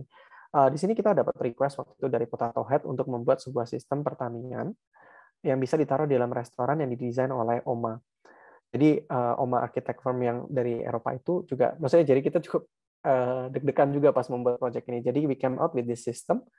Uh, kita membuat sebuah sistem di mana uh, modular juga bisa dibentuknya bentuknya itu agak agak kayak cekung ya. Jadi dia bisa bentuknya flow, bisa diputar-putar segala dan uh, design based tepatnya dengan sistem uh, grow light. Nah, jadi uh, dua design thinking yang kita masukkan di sini lumayan simple waktu itu, grow light juga dengan interior design fokus plant shelf karena selama ini kan shelf untuk tanaman yang indoor farming bentuknya kotak-kotak dengan piping ya. Kalau di sini kita mencoba membuat yang design based, jadi orang bakal attracted di situ. Kalau ada yang tertarik untuk mampir, ini ada di Desa Potato Head, di dalam restoran petanaman. Potato Head Compound. Nah, ini juga salah satu hal yang kita uh, mulai dari design thinking kita yang crossfield tepatnya. Nah, Water Hill Compound ini ada di Sawangan. Jadi kita uh, klien kita punya tempat posisinya di tengah-tengahnya itu ada sungai dan banyak tambak tepatnya secara existing. Nah, pertanyaannya adalah apakah kita harus uruk semua tanah bekas tambangnya itu eh tambang lagi tambak sorry. Jadi kalau itu dilakukan kan akan sangat costly tepatnya. Tapi in the same time juga kita ngelihat di sana udah ada ekosistem yang menarik. Karena dasarnya kita juga suka makanan ya. Jadi kita kepikiran kenapa nggak tambaknya kita aktifasi gitu. Jadi akhirnya kita berpikir bagaimana kita bisa menggabungkan modular construction tambak tapi in the same time kita bisa satu elemen lagi community tepatnya. Nah di sini kita membuat sebuah desain yang based on origami untuk atapnya. Uh, very light construction, semuanya panggung, berada di atas sungai sebenarnya proyeknya. Mungkin di sini uh, nggak terlalu terlihat proyeknya. Uh, ada cuma ada beberapa gambar yang boleh kita share di sini. Uh, tengahnya itu ada sungai di sini. Jadi bagaimana sungai sungai dan tambaknya itu bisa diaktifasi gitu. Mungkin di samping-sampingnya itu bisa dibikin pemancingan segala dan bangunan-bangunannya very light construction di situ. Nah, ini tipenya. Jadi ada integration of nature, open space compound untuk community, sustainable prefab material, dan terakhir adalah origami principle. Jadi ada beberapa hal yang kita bawa di sini. Dan ini uh, ya selanjutnya adalah forest cabin resort. Nah, ini juga balik lagi adalah design thinking kita yang sangat kita uh, mencoba unik ya tepatnya. Jadi uh, banyak banget tempat di Indonesia cantik. Contohnya Labuan Bajo gitu. Tapi ternyata saat kita pernah ke sana, Labuan Bajo itu nggak banyak air di sana. Air dari Labuan Bajo itu dibawa dari uh, kota sebelah, dari Ruteng kalau nggak salah namanya. Jadi setiap hari itu mobil datang tuh ke sana bawa masukin air. Jadi air adalah sesuatu yang luxury. Nah, bagaimana kita bisa membangun sesuatu di sana, sebuah resort, tapi juga bisa sustainable secara operational. Jadi sustainability itu nggak cuma tentang bangunannya, tapi juga tentang operationalnya. Nah, jadi desain-desain yang kita lakukan ini waktu itu di Danau Toba, kita coba terapin untuk beberapa cabin-cabin di Labuan Bajo. Dari uh, bagaimana kita bisa membuat cabin yang bisa uh, nggak merusak lingkungan, karena di sana bawahnya juga batu gitu. Jadi kita lebih simple, tapi sekelilingnya kita juga ada membuat uh, food production dengan sistem drip irrigation yang kita udah eksperimenin di Kinetic Peak tempatnya. Dan di sini ada beberapa hal yang kita design thinking again crossfield. Pertama dari uh, sustainable engineering prefab design, bagaimana bisa mengintegration integrasi nature. Nah, uh, sorry, tadi saya lupa bahas tentang nature integration. Di sini kita juga riset waktu itu tentang tanaman-tanaman yang ada di Labuan Bajo. Ternyata banyak tanaman-tanaman yang menarik, edible, tapi underappreciated. Again, back to the concept of under appreciation of local apa ya local wisdom gitu dan itu yang kita mencoba bawa dan terakhir adalah organic food production bagaimana food waste yang dari resort bisa di, diubah menjadi kompos untuk nutrisi dari pangannya yang pangannya yang kita gunakan sistem drip irrigation itu juga yang save energy. Jadi it's a mix of field ya sebenarnya yang bisa menjadi solution untuk benar-benar impactful ke depan. Dan ini juga salah satu uh, project yang recently lagi kita bangun, bentar lagi selesai, namanya Foodbox. Nah ini juga menjadi salah satu hal baru yang terjadi buat kita di masa uh, post-COVID, yaitu adalah project activation dari uh, bangunan yang udah nggak pakai tepatnya. Jadi ada sebuah area di Cibitung yang bangunannya itu udah lama, udah 20 tahun, kita mengactivate lagi plus dengan tahan dengan bangunan baru yang kita integrate. Jadi uh, project ini menarik karena buat kita kita bisa mengactivate sebuah community di Cibitung baru untuk uh, uh, untuk bisa uh, dipakai lagi gitu tepatnya. Mungkin bagi yang pada penasaran di bulan Desember buka box di Cibitung, mungkin bisa merasakan sendiri a combination of uh, bangunan lama dengan bangunan baru tepatnya. Dan restoration itu menjadi sebuah topik yang sangat menarik, sangat-sangat interesting buat kita. Siapa tahu ke depan kita bisa membangun banyak hal, diintegrasikan dengan uh, bangunan lama ataupun dengan heritage building situ digabung dengan forest landscape dan mixed tenancy. Nah, mixed tenancy ini sebenarnya belajar dari uh, konsep di Kumulo, di mana Kumulo bisa hidup bersama dengan breeze tepatnya. Jadi yang tenan kecil mensupport tenan yang besar, tenan yang besar mensupport tenan yang kecil. Kita lagi ada banyak mengerjakan banyak project compound at the very time. Uh, nanti mungkin bisa cek di Instagram kita aja karena kita banyak yang belum kita boleh publish. Tapi rata-rata yang kita mencoba lakukan uh, di dalam company kita adalah dengan komitmen bagaimana bisa uh, apa creating the community tapi juga in the same time uh, elevating konsep salah yang ada di sana. Nah, jadi uh, in summary, uh, future fabrication is about cross field design tepatnya.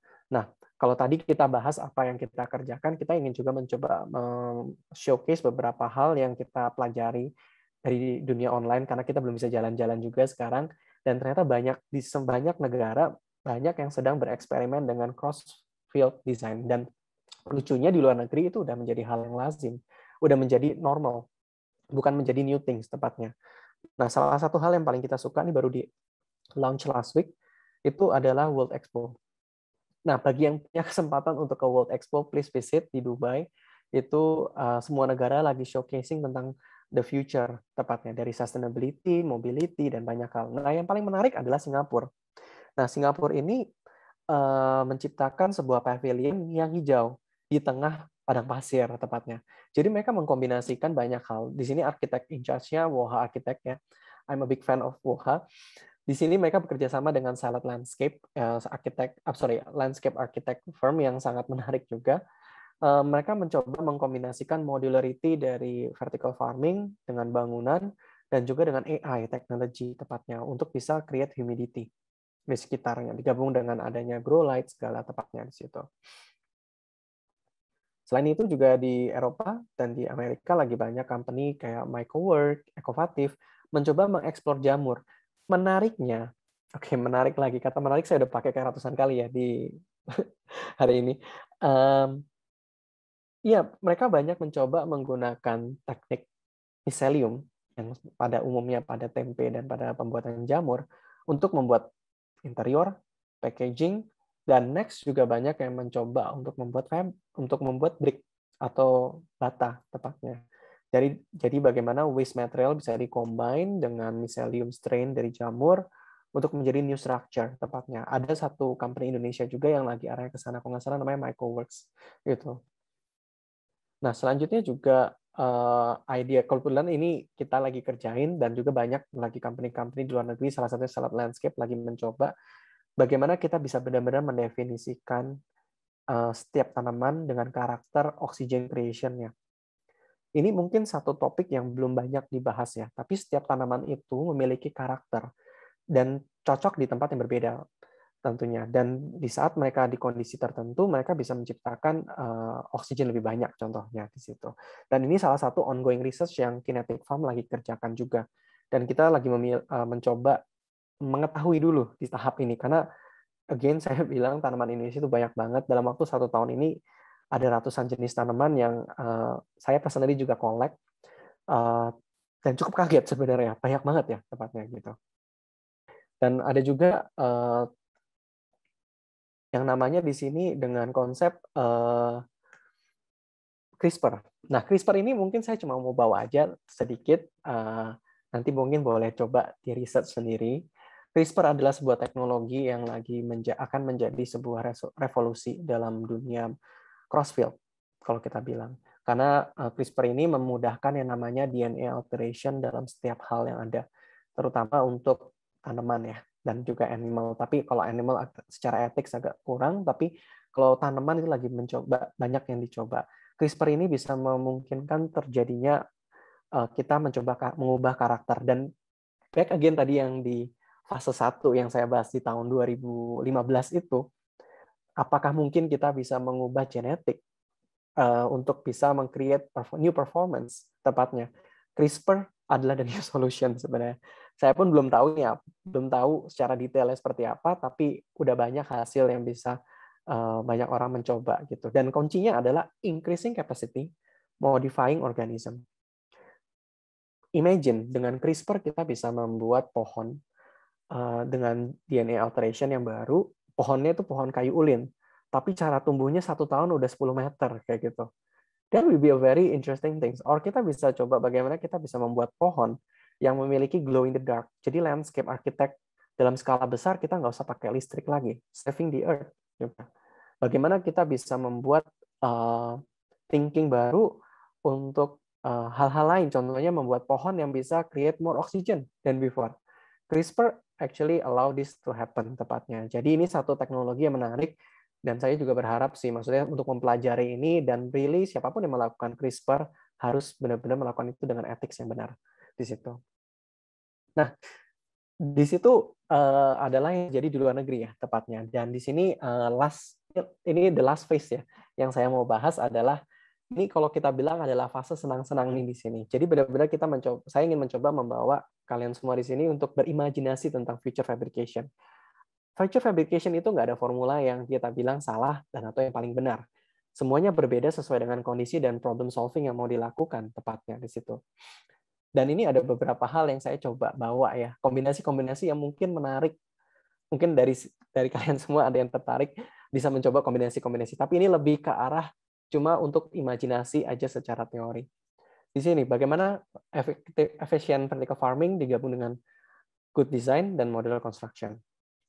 Bagaimana arsitektur kalau kita bisa gabungkan dengan engineering dan juga dengan biotech. Bangunan, bagaimana kita bisa mungkin pakai mushroom yang tumbuh dari uh, apa apa kita sorry bata yang tumbuh dari jamur Bagaimana kita bisa kayak CRISPR untuk bangun structure material baru, menggantikan uh, cross-laminated timber yang lebih efektif dan lebih murah. Bagaimana kita bisa integrate culture, old culture, prefabrication culture dari rumah joglo Jawa untuk menjadi sebuah new technology. Bagaimana kita juga bisa mendesain new modular strategy. Dan juga kenapa nggak ke depan kita bisa bikin cross border ya, kayak uh, bata fermentation of concrete. Hah, apaan tuh? Saya juga masih bilang begitu. Cuman saya percaya one day there will be someone doing it, membuat concrete structure yang makin hari makin kuat. Bukan makin hari makin weak. Kayak the Roman construction yang pakai. Yang katanya makin tahun makin kuat malah gitu. Food production plus good design plus hospitality. How we can redefine that? Itu. Bagaimana kita bisa mencoba cross field itu. Resort. Bagaimana kalau di resort kita menggabungkan sustainable tech, good design, eco conscious, eco conscious bukan cuma tentang material, tapi bagaimana bisa mengaktifasi masyarakat lokal, community empowering, dan juga food production dengan tanaman endemik juga tanaman lain. Biologi, bagaimana bisa digabungkan dengan good design dan juga dengan precision engineering. Landscape, bagaimana kita bisa crossbreed uh, species, bagaimana kita bisa membuat bangunan ataupun landscape yang bisa absorb greenhouse emission, bagaimana kita dengan landscape bisa menciptakan oksigen lebih banyak, bagaimana kita bisa membuat landscape yang bisa mekar barengan. Ataupun bisa tumbuhnya tingginya barengan. Nah itu, itu hal-hal yang menarik untuk bisa dibahas. Trigger yourself lah tepatnya di situ. Botani juga dengan good design dan air system. Indoor, bagaimana kita bisa bikin sofa dengan plant leather, plant-based leather. Maksudnya dengan kulit yang dibuat dari fermentation, dari tanaman serat-serat alami. Indoor jungle, multi-use furniture, furniture yang bisa dibolak-balik. Uh, sterilization system atau HEPA diintegrate untuk uh, post-COVID indoor mall tepatnya. Ataupun indoor urban farm, bagaimana bisa membuat indoor urban farm yang engaging kepada community. Dan juga ini the last one, yang ini mungkin agak gila ya, saya bawa ini, tapi cuma sekedar buat untuk trigger the mind aja. Bagaimana modern energy generator bisa digabung dengan uh, good design dengan blockchain technology kayak baterai baru, blockchain technology untuk energy sharing, engineering design yang baru, bagaimana mobility bisa menggabungkan digabungkan dengan rumah dan production of energy source dan juga energy efficiency building.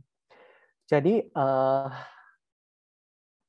in summary, uh, masa depannya kita itu dipegang oleh cross-field collaboration. Jadi in summary adalah the formula adalah cross-field. Jadi um, kita harus mulai mencoba sama-sama di sini. Ini bukan kerjaan satu orang, tapi harus rame-rame semuanya. Bagaimana kita bisa mulai berpikir cross-field, bukan hanya vertikal, di mana kita membuat uh, apa makin lama makin expert di satu bidang, tapi juga secara horizontal, di mana kita bisa berkolaborasi dengan banyak sektor. And let's have a really open-minded. And last but not least, we're open for collaboration. So let's collaborate. And ya bagi yang tertarik untuk know more about us, ya boleh buka di Instagram kita di akosa.lab. And thank you so much. Mungkin itu aja dari saya. Saya balikan lagi kepada admin. Mungkin. Oke, okay, thank you, Bet, atas presentasinya. Yeah. Uh, mungkin sebelum kita mulai uh, diskusi dan tanya jawab, mungkin saya pengen tanya dengan segitu banyaknya projection yang ada gitu ya uh, dari manifest yang dibikin sama Albert dan Akosa gitu. Ya, in terms of the misalnya ya uh, apa namanya, gimana sih meng, meng, menghandle misalnya uh, the quality of the misalnya uh, critical thinking gitu, quality of the technical thinking gitu ya, uh, di mana misalnya kalau di keseharian misalnya kami di tim gitu ya di dalam desain kan ngomong sama structure engineer bilang udah susah gitu nyari yang apa yang tiersnya yang muda gitu. Hmm. uh, karena mungkin uh, memang appreciation of the professions gitu loh seperti gimana sih view Albert uh, atau mungkin ada kesulitan nggak sih di dalam timnya untuk bisa kan ibarat tadi kan crossfield ya. Hmm, uh, kan dari singular kan ke multi kan multi habis itu langsung cross gitu ya habis itu mungkin bisa masuk ke trans gitu. Uh, uh, uh, disciplinary atau field collaboration yang beda-beda gitu. Uh, gimana sih view Albert terhadap uh, konteks Indonesia terkait sama the quality of the um, the thinking of the engineers dan mungkin yang collaboratorsnya. Silakan, Bet. Okay. Penasaran? Oke, okay. sebenarnya ini uh, kenapa bisa sampai ke sini juga sebenarnya karena emang nature-nya dari uh, paling penting sih sebenarnya ya kalau kita boleh bilang uh, sebelum crossfield-nya harus ke arah mana sih? Sebenarnya paling penting itu balik ke basic-nya lagi dari problem solving yang mau dilakukan dari satu satu hal yang mau di solve itu. Jadi benar-benar trying to understand totally tentang problem yang mau di solve sebenarnya. Dari situ kita bisa coba buka problemnya ini sebenarnya bisa kita dissect nggak sih ke beberapa sektor gitu tepatnya. Maksudnya hmm. uh, kita harus benar-benar baca problemnya. Oh ternyata problemnya cuma ada structural, ada juga secara itu, secara uh, biologinya misalnya kayak gitu.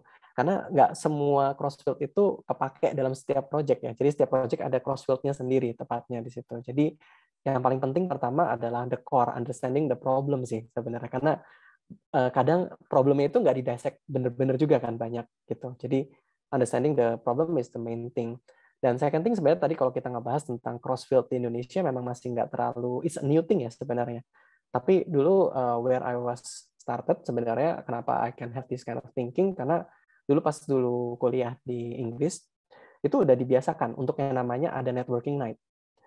Hmm. Dan networking night itu selalu terjadi yang di invite itu cross cross field tepatnya. Kayak di hmm. university itu. Jadi orang biologi di invite bareng sama orang engineering, bikin satu acara bareng. Acaranya sih ya acara apa ya kalau kita bilang kalau di luar negeri itu drinking night atau minum-minum gitu kan. Maksudnya minumnya minum apa ya bukan minum alkohol doang tapi maksudnya kayak event gitu. Jadi di mana bisa nge-trigger gitu. Dan the budaya of sharing itu penting banget sih sebenarnya. Dan mungkin itu juga salah satu hal yang kita juga lagi udah mulai terapin di company kita sendiri. Karena di company kita kan ada dua divisi di uh, arsitektur dan juga di dunia tanaman. Dan hmm. kita setiap senin ada meeting bareng untuk ngebahas uh, achievement di setiap tim sendiri. Jadi yang tim arsitek bisa melihat, oh ternyata tim plans lagi ngerjain ini ya, dan kebalikannya juga gitu. Oke, okay. clear. Uh, thank you, Bet. Nanti kita lanjutin lagi ya uh, okay, dalam isi. Ya, uh, ada pertanyaan dari Mas Raditya atau Tapur. Mas mau open mic? Jadi kita bisa diskusi. open mic ya.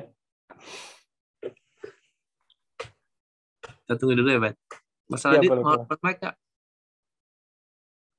Karena ternyata sangat baik sih menurut saya. Halo, Silakan, halo, tes, tes. Nyambung ya? Halo, halo. Nyambung, Mas. Maaf nih. Oke, oke. Terima kasih. Oke, makasih Mas Albert. Terima kasih apa presentasinya menarik sekali.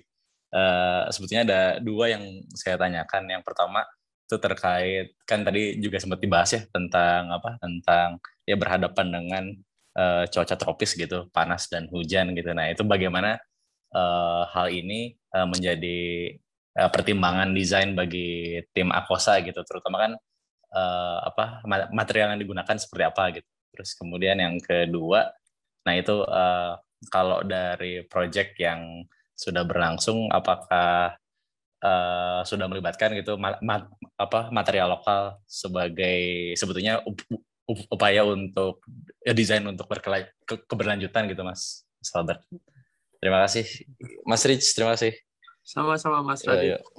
Oke, silakan Albert. Ya. Bisa dijawab ya, thank you Mas Radit buat buat pertanyaannya. Thank you banget. Ini uh, ya memang uh, secara company kita selalu mencoba untuk menghadapi cuaca tropis ya, terutama hujan dan panas, panas dingin yang cukup berubahnya cukup ekstrim di sini. Jadi memang kita uh, selalu mencoba untuk explore new material tepatnya. Tapi memang saat ini untuk eksterior kita selalu mencoba menggunakan material engineering yang kita bisa kalkulatif kalkulasikan secara kekuatan dan juga uh, durability-nya tepatnya. Jadi uh, banyak ternyata loh material-material baru yang udah cross field bagus. Ini juga langsung menjawab pertanyaan nomor dua. Contohnya aja kayak eh, WPC itu juga kan menggunakan kayu juga dicampur dengan plastik dan juga banyak material-material polimer yang cukup menarik sih untuk bisa mengaktifasi misalnya kayu untuk outdoor tepatnya seperti itu.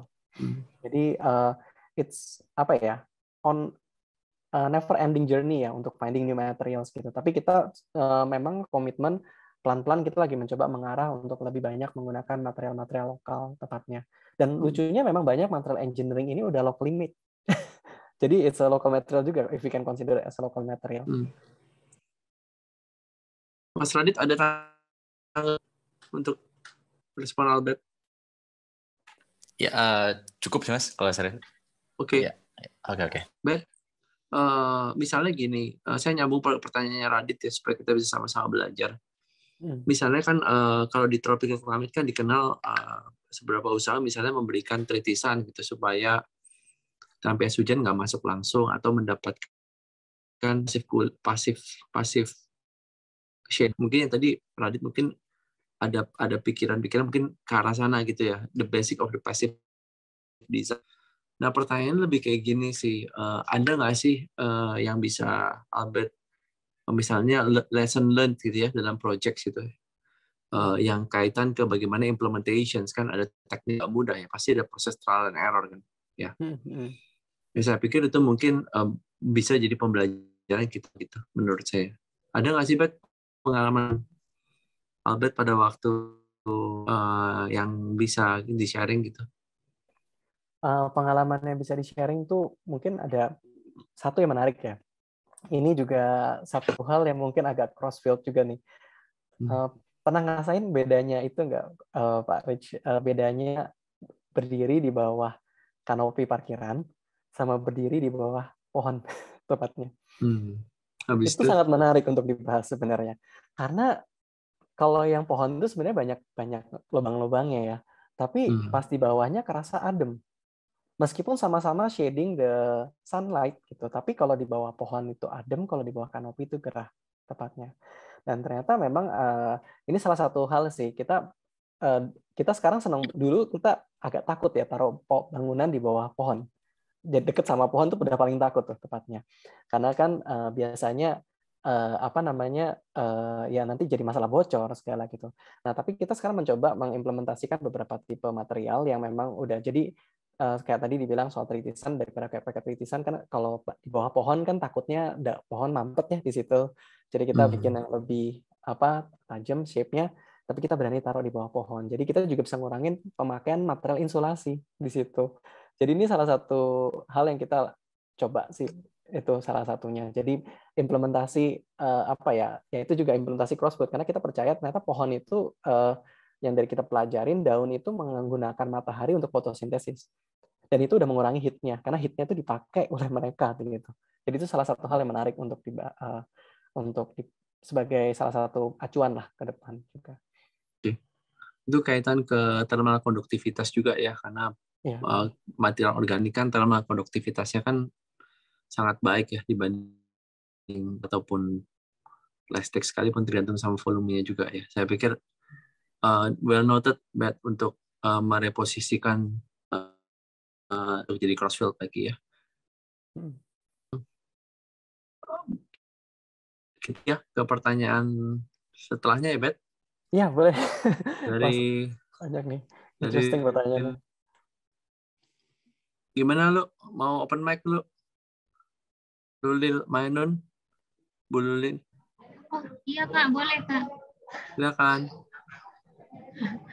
Ini Mas tadi menarik sekali sih ngelihat desainnya rata-rata tuh saya lihat kayak bukan rata-rata sih ada beberapa yang nggak pakai fondasi. Nah itu kira-kira gimana ya mas tekniknya? Sama yang desain pohon yang ada banyak pohon-pohon tadi itu pohonnya existing di site atau pindahan gitu mas. Menarik sekali sih menurut saya. Terima kasih mas Kak Rich. Betul, silakan Bet. Oh ya, thank you uh, Mbak Lulu buat pertanyaannya. Uh, pohon-pohonnya rata-rata udah ada di existing, tapi biasa kita tambahin sih uh, biasanya kita punya strategi begini, yang biasanya bases kita bongkar, terus kita pasang uh, bangunan di posisi yang bases, jadi bukan pohon besar yang kita bongkar, lalu kita tambahkan basis baru di posisi yang lebih tepat karena basis kan cepat tumbuh ya, basis itu kayak kerimbunan lah, kayak semak-semak gitu tepatnya. Dan membicarakan tentang pondasi, bangunan kita ada pondasinya, tapi pondasinya lebih yang ringan tepatnya, seperti umpak, uh, seperti pada dasarnya kayak rumah Jawa ya, rumah joglo itu.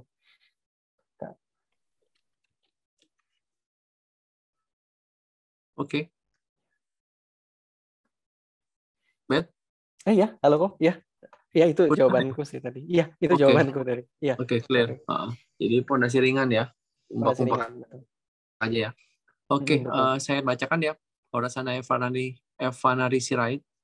Uh, selamat malam Mas Albert, mau tanya dalam kolaborasi lintas bidang ini sejauh manakah dan seberapa lamakah ke setiap bidang dalam sebuah proyek? Silakan, Bet. Uh, Oke, okay. dalam kolaborasi lintas bidang sejauh mana dan seberapa lamakah keterlibatan setiap bidang? Oke, okay, karena memang dasarnya development itu dari bangunan ya. Lalu yang uh, sisanya itu memang kita mencoba untuk memasukkan pelan perlahan. Karena sebenarnya di Indonesia juga masih baru, jadi jangan terlalu ekstrim juga langsung mungkin karena biar nggak kaget juga ya. Karena di saat kita mencoba berbarangan, misalnya contoh kita membawa edible landscape ya, uh, itu juga ada responsibility di belakangnya jadi bukan cuma sekedar kita memasukkan itu, tapi ada responsibility of maintenance. Contoh, seperti edible landscape, saat kita membawa cross border dengan botani, kita nggak bisa cuma menyiapkan area edible landscape-nya, tapi kita juga harus menyiapkan area nursery. Jadi ada tanggung jawab juga sebenarnya di belakang itu. Jadi memang bukan semudah itu crossfield. Crossfield itu adanya responsibility lain juga. Jadi agak lebih capek sebenarnya, tapi sebenarnya hmm. menarik di situ. Jadi ada nursery dan dengan adanya nursery itu menariknya juga adalah kita bisa mencoba change the edible landscape position juga di situ. Jadi setiap ini habis panen harus diganti dan memang secara teknik kalau di dunia pertanian itu nggak boleh nanam hal yang sama. Maksudnya kacang hijau di sini selama 10 tahun tuh nggak boleh. Jadi kacang hijau setelah tiga bulan harus diganti dengan tanaman yang lain. Jadi nitrogen kandungan kandungan dalam tanah itu berubah apa nggak nggak habis tempatnya gitu harus kadang-kadang diselipin dengan tanaman kacang-kacangan karena kacang-kacangan itu bisa buat nitrogen. Nah, itu contohnya. Jadi crossfield itu related sama responsibility juga tepatnya. Hmm. Hmm. Oke. Okay. Hmm. Bet, Bet, ya. uh, kamu pernah gagal field? Hah? Kenapa kok? Kenapa? Pernah gagal? Enggak fermentasi gagal. Wah para sering kalau gagal mah. Boleh cerita nggak sih? Boleh harus cerita paling paling memorable kamu supaya kita bisa tahu bahwa uh, apa yang nobody's perfect ya. I think we need to like a do trial and error. Silakan Bet oke okay. banyak ya sebenarnya namanya kegagalan dalam proses sampai akhirnya bisa sampai ke uh, perfect rendition. Maksudnya bukan perfect rendition uh, apa ya optimum uh, performance dari uh, crossfield ya tepatnya. Jadi ya banyak banyak contohnya satu hal mungkin di jamur sendiri saat kita mencoba menanam jamur di tengah kota itu karena kita ini baru buat kita ya meskipun kita udah kenal dengan expertise yang nanam jamur juga itu uh, berapa kali kita mencoba untuk menanam di tengah kota itu gagal sampai berbulan-bulan. Makanya uh, saat kita mulai pun sampai udah bisa hampir menemukan hasilnya itu banyak sekali proses mulai dari kedatangan hama lah, terus tiba-tiba uh, ternyata sistem yang kita pakai mistingnya nggak cocok sampai banjir kayak gitu. Terus kita mencoba sistem AI-nya juga ternyata nggak nyambung gitu. Terus juga kita pernah mencoba juga menggunakan material uh, material apa namanya untuk uh, atap misalnya begitu. Ada juga uh, material atap yang menurut kita itu bakal durable. Nah ini satu hal yang menarik juga mungkin dibahas ya. Um, kadang durability yang ada di tertulis dalam sebuah uh, produk belum tentu terjadi kenyataannya juga di dalam real world. Karena again kayak tadi di mention di Indonesia itu kondisinya uh, apa kondisinya tiba-tiba panas tiba dingin gitu. Jadi ada beberapa material nggak kuat. Dan itu banyak kejadian kita kejadian di situ. Cuman yang paling penting adalah di sana saat saat itu terjadi adanya responsibility juga sih untuk kita fine tuning tepatnya menemukan material baru penggantinya di situ dan terus bereksperimen sih and it, it involves a lot of cost ya banyak banyak budget yang dikeluarkan untuk itu sih. Oke, okay. thank you Matt atas sharingnya. Iya. Yeah. Uh, lanjut ya dari uh, pertanyaan dari Ivana Purnomo. Uh, kita 13 menit lagi, habis itu kita tutup ya, Bet. Uh, kan udah larut okay. malam. Oke, okay. okay. Ivana mau open mic nggak? Uh, boleh, Mas. Silakan, Ivana. Ya, halo, Mas. Salam kenal. Iya. Halo, salam kenal. Salam dari Mustiri nih buat malam. Oh. Aduh, teman-teman nih yang sama-sama bikin prefab seneng nih. Tarik nih, soalnya Sifat bikin prefab juga. Mas yeah. mau dong, uh, kalau ini kan sebenarnya menarik ya, karena modular tapi dari sisi tanaman gitu awal mulanya. Nah ini untuk memperkenalkan crossfield ini ngedevelop marketnya gimana mas caranya? First thing uh, first selama ini apa Kalau saya selalu percaya uh, dengan co-founder kita yang lain kalau kita nggak pernah mencoba mendevelop market yang baru. Tapi yeah. kita mencoba uh, meng-add beberapa hal baru dalam men-solve problem yang ada tepatnya di situ. Jadi kita mencoba solving problem dengan cara baru lah tepatnya gitu. Jadi dengan cara lama plus dengan cara baru. Jadi itu our design thinking. Kita nggak pernah mencoba kayak wah introduce nih ada new technology gitu karena itu agak sulit sebenarnya. Yeah. Sebenarnya saya senang banget dengan iPhone itu mungkin uh, satu hal yang menarik buat saya. Aduh, saya pakai banget banyak banget kata menarik ya. Kayak iPhone itu uh, mereka nggak mencoba showcasing teknologi baru mereka. Mereka cuma mencoba menunjukkan kalau uh, pakai mereka punya enak aja. itu kan sebenarnya. Dan secara nggak langsung mereka banyak pakai hal baru di dalamnya, tapi mereka nggak pernah ceritakan itu di situ. Yeah. Dan itu adalah filosofi yang sebenarnya kita juga bawa sebenarnya. Hmm, oke, oke. Okay. Ya. Yeah. Thank you, Mas Albert. Iya, sama-sama. Yes. Uh, lanjut lagi ya. Pertanyaan terakhir mungkin dari Pak Aswan. Pak Aswan mau open mic nggak sebelum saya tutup? Kita simpulkan. Silakan. Pak Aswan. Ntar ya, Bet. Iya, nggak apa-apa. Pak Aswan. Oke, saya lanjutin aja ya. Assalamualaikum, selamat malam, good presentation. Saya mau bertanya, satu batang arsitek dalam setiap proyeknya dari skala 1 sampai 100 persen. Uh, untuk penanganan riset secara garis posisinya juga ya, Bet. Yang hmm. kedua, sangat menarik ya sustainability proyeknya apakah bisa diterapkan pada kawasan agrowisata dengan kondisi iklim yang ekstrim seperti angin kencang, puncak bukit atau gunung. Thank you. Oke. Okay. Oke, okay.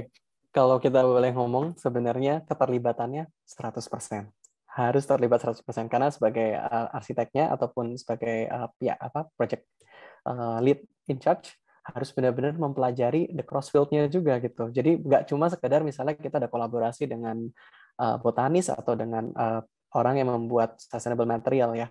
Terus sisanya 100% dari selain ke mereka aja gitu. Kita juga sebagai uh, lead atau arsitek harus benar-benar mempelajari apa yang mereka kerjakan. So at the end of the project, uh, bukan bahkan bukan the end of the project malah kita bisa discover new things yang mungkin bisa kita integrate further hal-hal yang cross field itu tepatnya jadi itu penting banget untuk learning jangan pernah mencoba stop learningnya gitu jadi kayak mengkotakkan udah kamu kerjain yang ini saya kerjain yang ini aja tapi harus benar-benar kita memahami until kita punya the same understanding kayak collaborator kita dan that's a very important thing saat kita mau collab atau mau co-founding sama itu pasti memiliki 100% hal yang sama. Apa 100% understanding yang sama tepatnya. Dan untuk pertanyaan kedua, apakah sustainable project bisa diterapkan di uh, pada kawasan agrowisata dengan kondisi iklim yang ekstrim seperti puncak bukit atau gunung? Jawabannya bisa banget. Kenapa? Um, ini satu hal yang juga saya pegang sebenarnya. Saat kita mencoba melakukan sesuatu yang berhubungan dengan sustainability, kita juga nggak boleh lupa time and place. Time and place itu penting bagi maksudnya adalah kita juga harus understand tempat kita membangun tempat itu. Banyak banget, contohnya di Labuan Bajo. Tempatnya sangat kering ya, nggak mungkin kita uh, nanam banyak hal menurut pandangan orang. Tapi pernah nggak coba ngelakuin riset tanaman-tanaman kecil-kecil tuh yang ada di sana satu hal yang menarik adalah pas saya ke Pulau Komodo waktu itu sekitar berapa tahun yang lalu. Jadi saya pas keliling sama hunternya itu di Pulau Komodo. Pertanyaan pertama yang saya tanya, ada bisa dimakan nggak di situ? Dan ternyata banyak yang bisa dimakan dan mereka tanaman-tanaman ini udah beradaptasi dengan baik dengan iklim yang ada di sekitar sana. Dan itulah wisdom yang harus kita bawa juga. Kita combine tepatnya di situ. Jadi pertanyaannya bisa nggak? Bisa banget. Tapi kita jangan lupa apa local wisdomnya itu harus kita coba bawa menjadi core-nya tepatnya di situ. Oke, Bet. Uh, yang menutup ini dengan sebuah dengan sebuah closing ini kali ya, closing statement kali. Uh, silakan, Bet. Sebelum saya simpulkan, terima kasih. Ya, oke. Okay. Uh, closing statement uh, never stop learning and and apa question tepatnya. Maksudnya question lebih karena miliki rasa ingin tahu yang tinggi lah. Itu aja sih dari kita. Never stop learning. itu aja sih. Oke, okay, Udah saya simpulkan ya. Ya. Kawan atas atas atas apa atas uh, diskusinya atas bagaimana atensi dalam mendengarkan presentasi dari Albert Pramono. Uh, kalau saya lihat, uh, saya akan coba simpulkan presentasi hari presentasi uh, tataran yang dibawakan Albert itu tataran yang pri primer dia sedikit banyak uh, berelasi dengan hal yang sifatnya uh, tadi tanaman pangan, endemic plants gitu, yang, yang mimpinya adalah menjadi sebuah landscape kota. Jadi satu hal yang sangat primer uh, dan dan itu dikaitkan dengan problem solving, design thinking dan akhir, akhirnya menemukan porang, sword bean, blue pea, blue pea flower gitu dan macam-macam dan ada segitu juta things lagi yang bakal ditemukan nanti. Nah, intensi untuk mencapai hal yang primer ataupun uh, yang yang dibekal juga dengan keberanian untuk menginjek sesuatu sesuatu yang sifatnya problematik dalam uh, keseharian kita gitu dan saya yakin Albert juga menerapkan hal itu di dalam kesehariannya gitu. Nah, pada akhirnya technical will follow gitu and then crossfield will follow gitu. Ada typical drip step stream layout, precision agriculture dan ada begitu banyak lain yang lain. Jadi ada, ada banyak sekali yang mungkin jadi tunggu crossfield crossfieldnya dan insert juga pasti ada trial and errornya juga gitu yang nggak mungkin smooth gitu. Tetapi uh, apa at the end of the story gitu Albert mem mem mempreposisikan hipotesisnya bahwa ini terjadi di beberapa antecedent di dunia gitu termasuk di World Expo Singapore ada perbaikan climate gitu dari sebuah sebuah apa tatanan ekosistem gitu dan pada akhirnya yang menarik adalah begitu dia juga mem, mem, mem, mempreposisikan CRISPR ya karena ada semacam mutilasi dan penyambungan kembali gitu. Yang sifatnya sebenarnya harus berhati-hati karena ada terkait sama ethics ya. Dan itu di situ adalah semua ada semacam regenerasi dan improvement sebenarnya dari sebuah uh, apa uh, dunia yang memang berkembang sangat pesat. Nah hal ini kalau bisa kita kaitkan ke arsitektur, kita bisa melihat bahwa misalnya bagaimana ketukangan, metode desain, bagaimana tektonika itu pun juga memiliki CRISPR-nya sendiri-sendiri gitu. Sampai pada akhirnya mungkin bisa memiliki otomasi di di dalam yang mungkin tadi secara apa quote, quote unquote Albert mempreposisikan seba, di dalam sebuah kripto ya sebuah kripto uh, yang sifatnya begitu banyak gitu yang bisa kemungkinan kemungkinan di masa depan. Nah, pada akhirnya kalau saya lihat uh, bahwa memang uh, ya memang pendekatan-pendekatan seperti ini itu menjadi di dunia gitu ya. Nah, sekarang ini dan arsitektur memang diharapkan untuk bisa juga berdialog dengan berdialog juga dengan disiplin yang lain, on crossfield juga uh, di di memiliki problematika profesinya sendiri gitu. Saya pikir untuk arsitek, tetapi arsitektur akan selalu berkembang lintas batas. Uh, memang sangat kompleks dan mungkin untuk Albert bisa berkolaborasi dengan para. Saya pikir itu aja mungkin Albert uh, untuk uh, doanya supaya semakin berkembang dan luar biasa gitu. Uh, mungkin uh, mungkin yang ingin mengetahui Albert lebih lanjut dan Akosa dan mungkin bisa DM DM Albert. boleh boleh boleh DM ke Albert Pramono di DM. ya. Oh iya, silakan tuh DM ya. teman-teman bisa kunjungi Kinetic Farm-nya. Uh, saya pikir kita sama-sama saling berkolaborasi. Kita ya. kembalikan ya ke Hanifah ya, Albert. Baik. Ya baik. Terima kasih juga dan uh, Nirma uh, ada uh, beberapa orang yang sudah berdiskusi tadi dan juga Albert terutama yang sudah materi yang sangat luar biasa bagus membuka wawasan kita menciptakan diskursus di dalam arsitektur di Indonesia ini. Terima kasih, Bet. Hanifah, silakan disambut kembali. Terima ya, kasih. Terima kasih, Kak Aris, dan terima kasih, Kak Albert, untuk presentasinya. Baik, uh, sangat menarik sekali. Tadi hari ini kita dibawa agak bergeser sedikit ya dari arsitektur. Momen itu mungkin jadi poinnya gitu uh, untuk mengingatkan kita barangkali memang ada hal-hal yang tidak bisa diselesaikan sendirian gitu oleh arsitek atau arsitektur gitu. Membuat kita menengok kanan kiri lagi mungkin ada orang lain yang bisa membantu gitu dalam prosesnya. Uh, ya semoga itu tadi menginspirasi kita semua dan benar-benar membuahkan sebuah aksi gitu ya. Uh, Sekali lagi terima kasih kepada para hadirin sudah uh, ikut serta hari ini dan mengajukan pertanyaan. Uh, semoga masih semangat. Kita masih ada tiga sesi lagi. Yang belum mendaftar, silahkan bisa mendaftar. Uh, mungkin bisa ajak temannya juga ikut meramaikan diskusi arsitektur kita. Nah, uh, kita akan menutup kelas dengan foto bersama. Jadi teman-teman saya persilahkan untuk menyalakan video ya masing-masing. Sembari menunggu eh, teman-teman bisa memberikan pesan-kesan, kritik dan saran melalui link bit.ly slash testimoni omah seperti yang sudah saya cantumkan di kolom komentar. Baik, uh, apakah semua sudah siap? Baik, kita foto ya bersama. Satu, dua, tiga. Oke, sekali lagi. Satu, dua, tiga. Oke, baik. Terima kasih. Sampai jumpa lagi di minggu depan dan kesempatan selanjutnya. Sukses untuk semuanya. Terima kasih Kak Albert. Terima kasih Kak Rich. Ya, oke. Okay. Thank you Albert, Nifa. Semuanya. Thank you.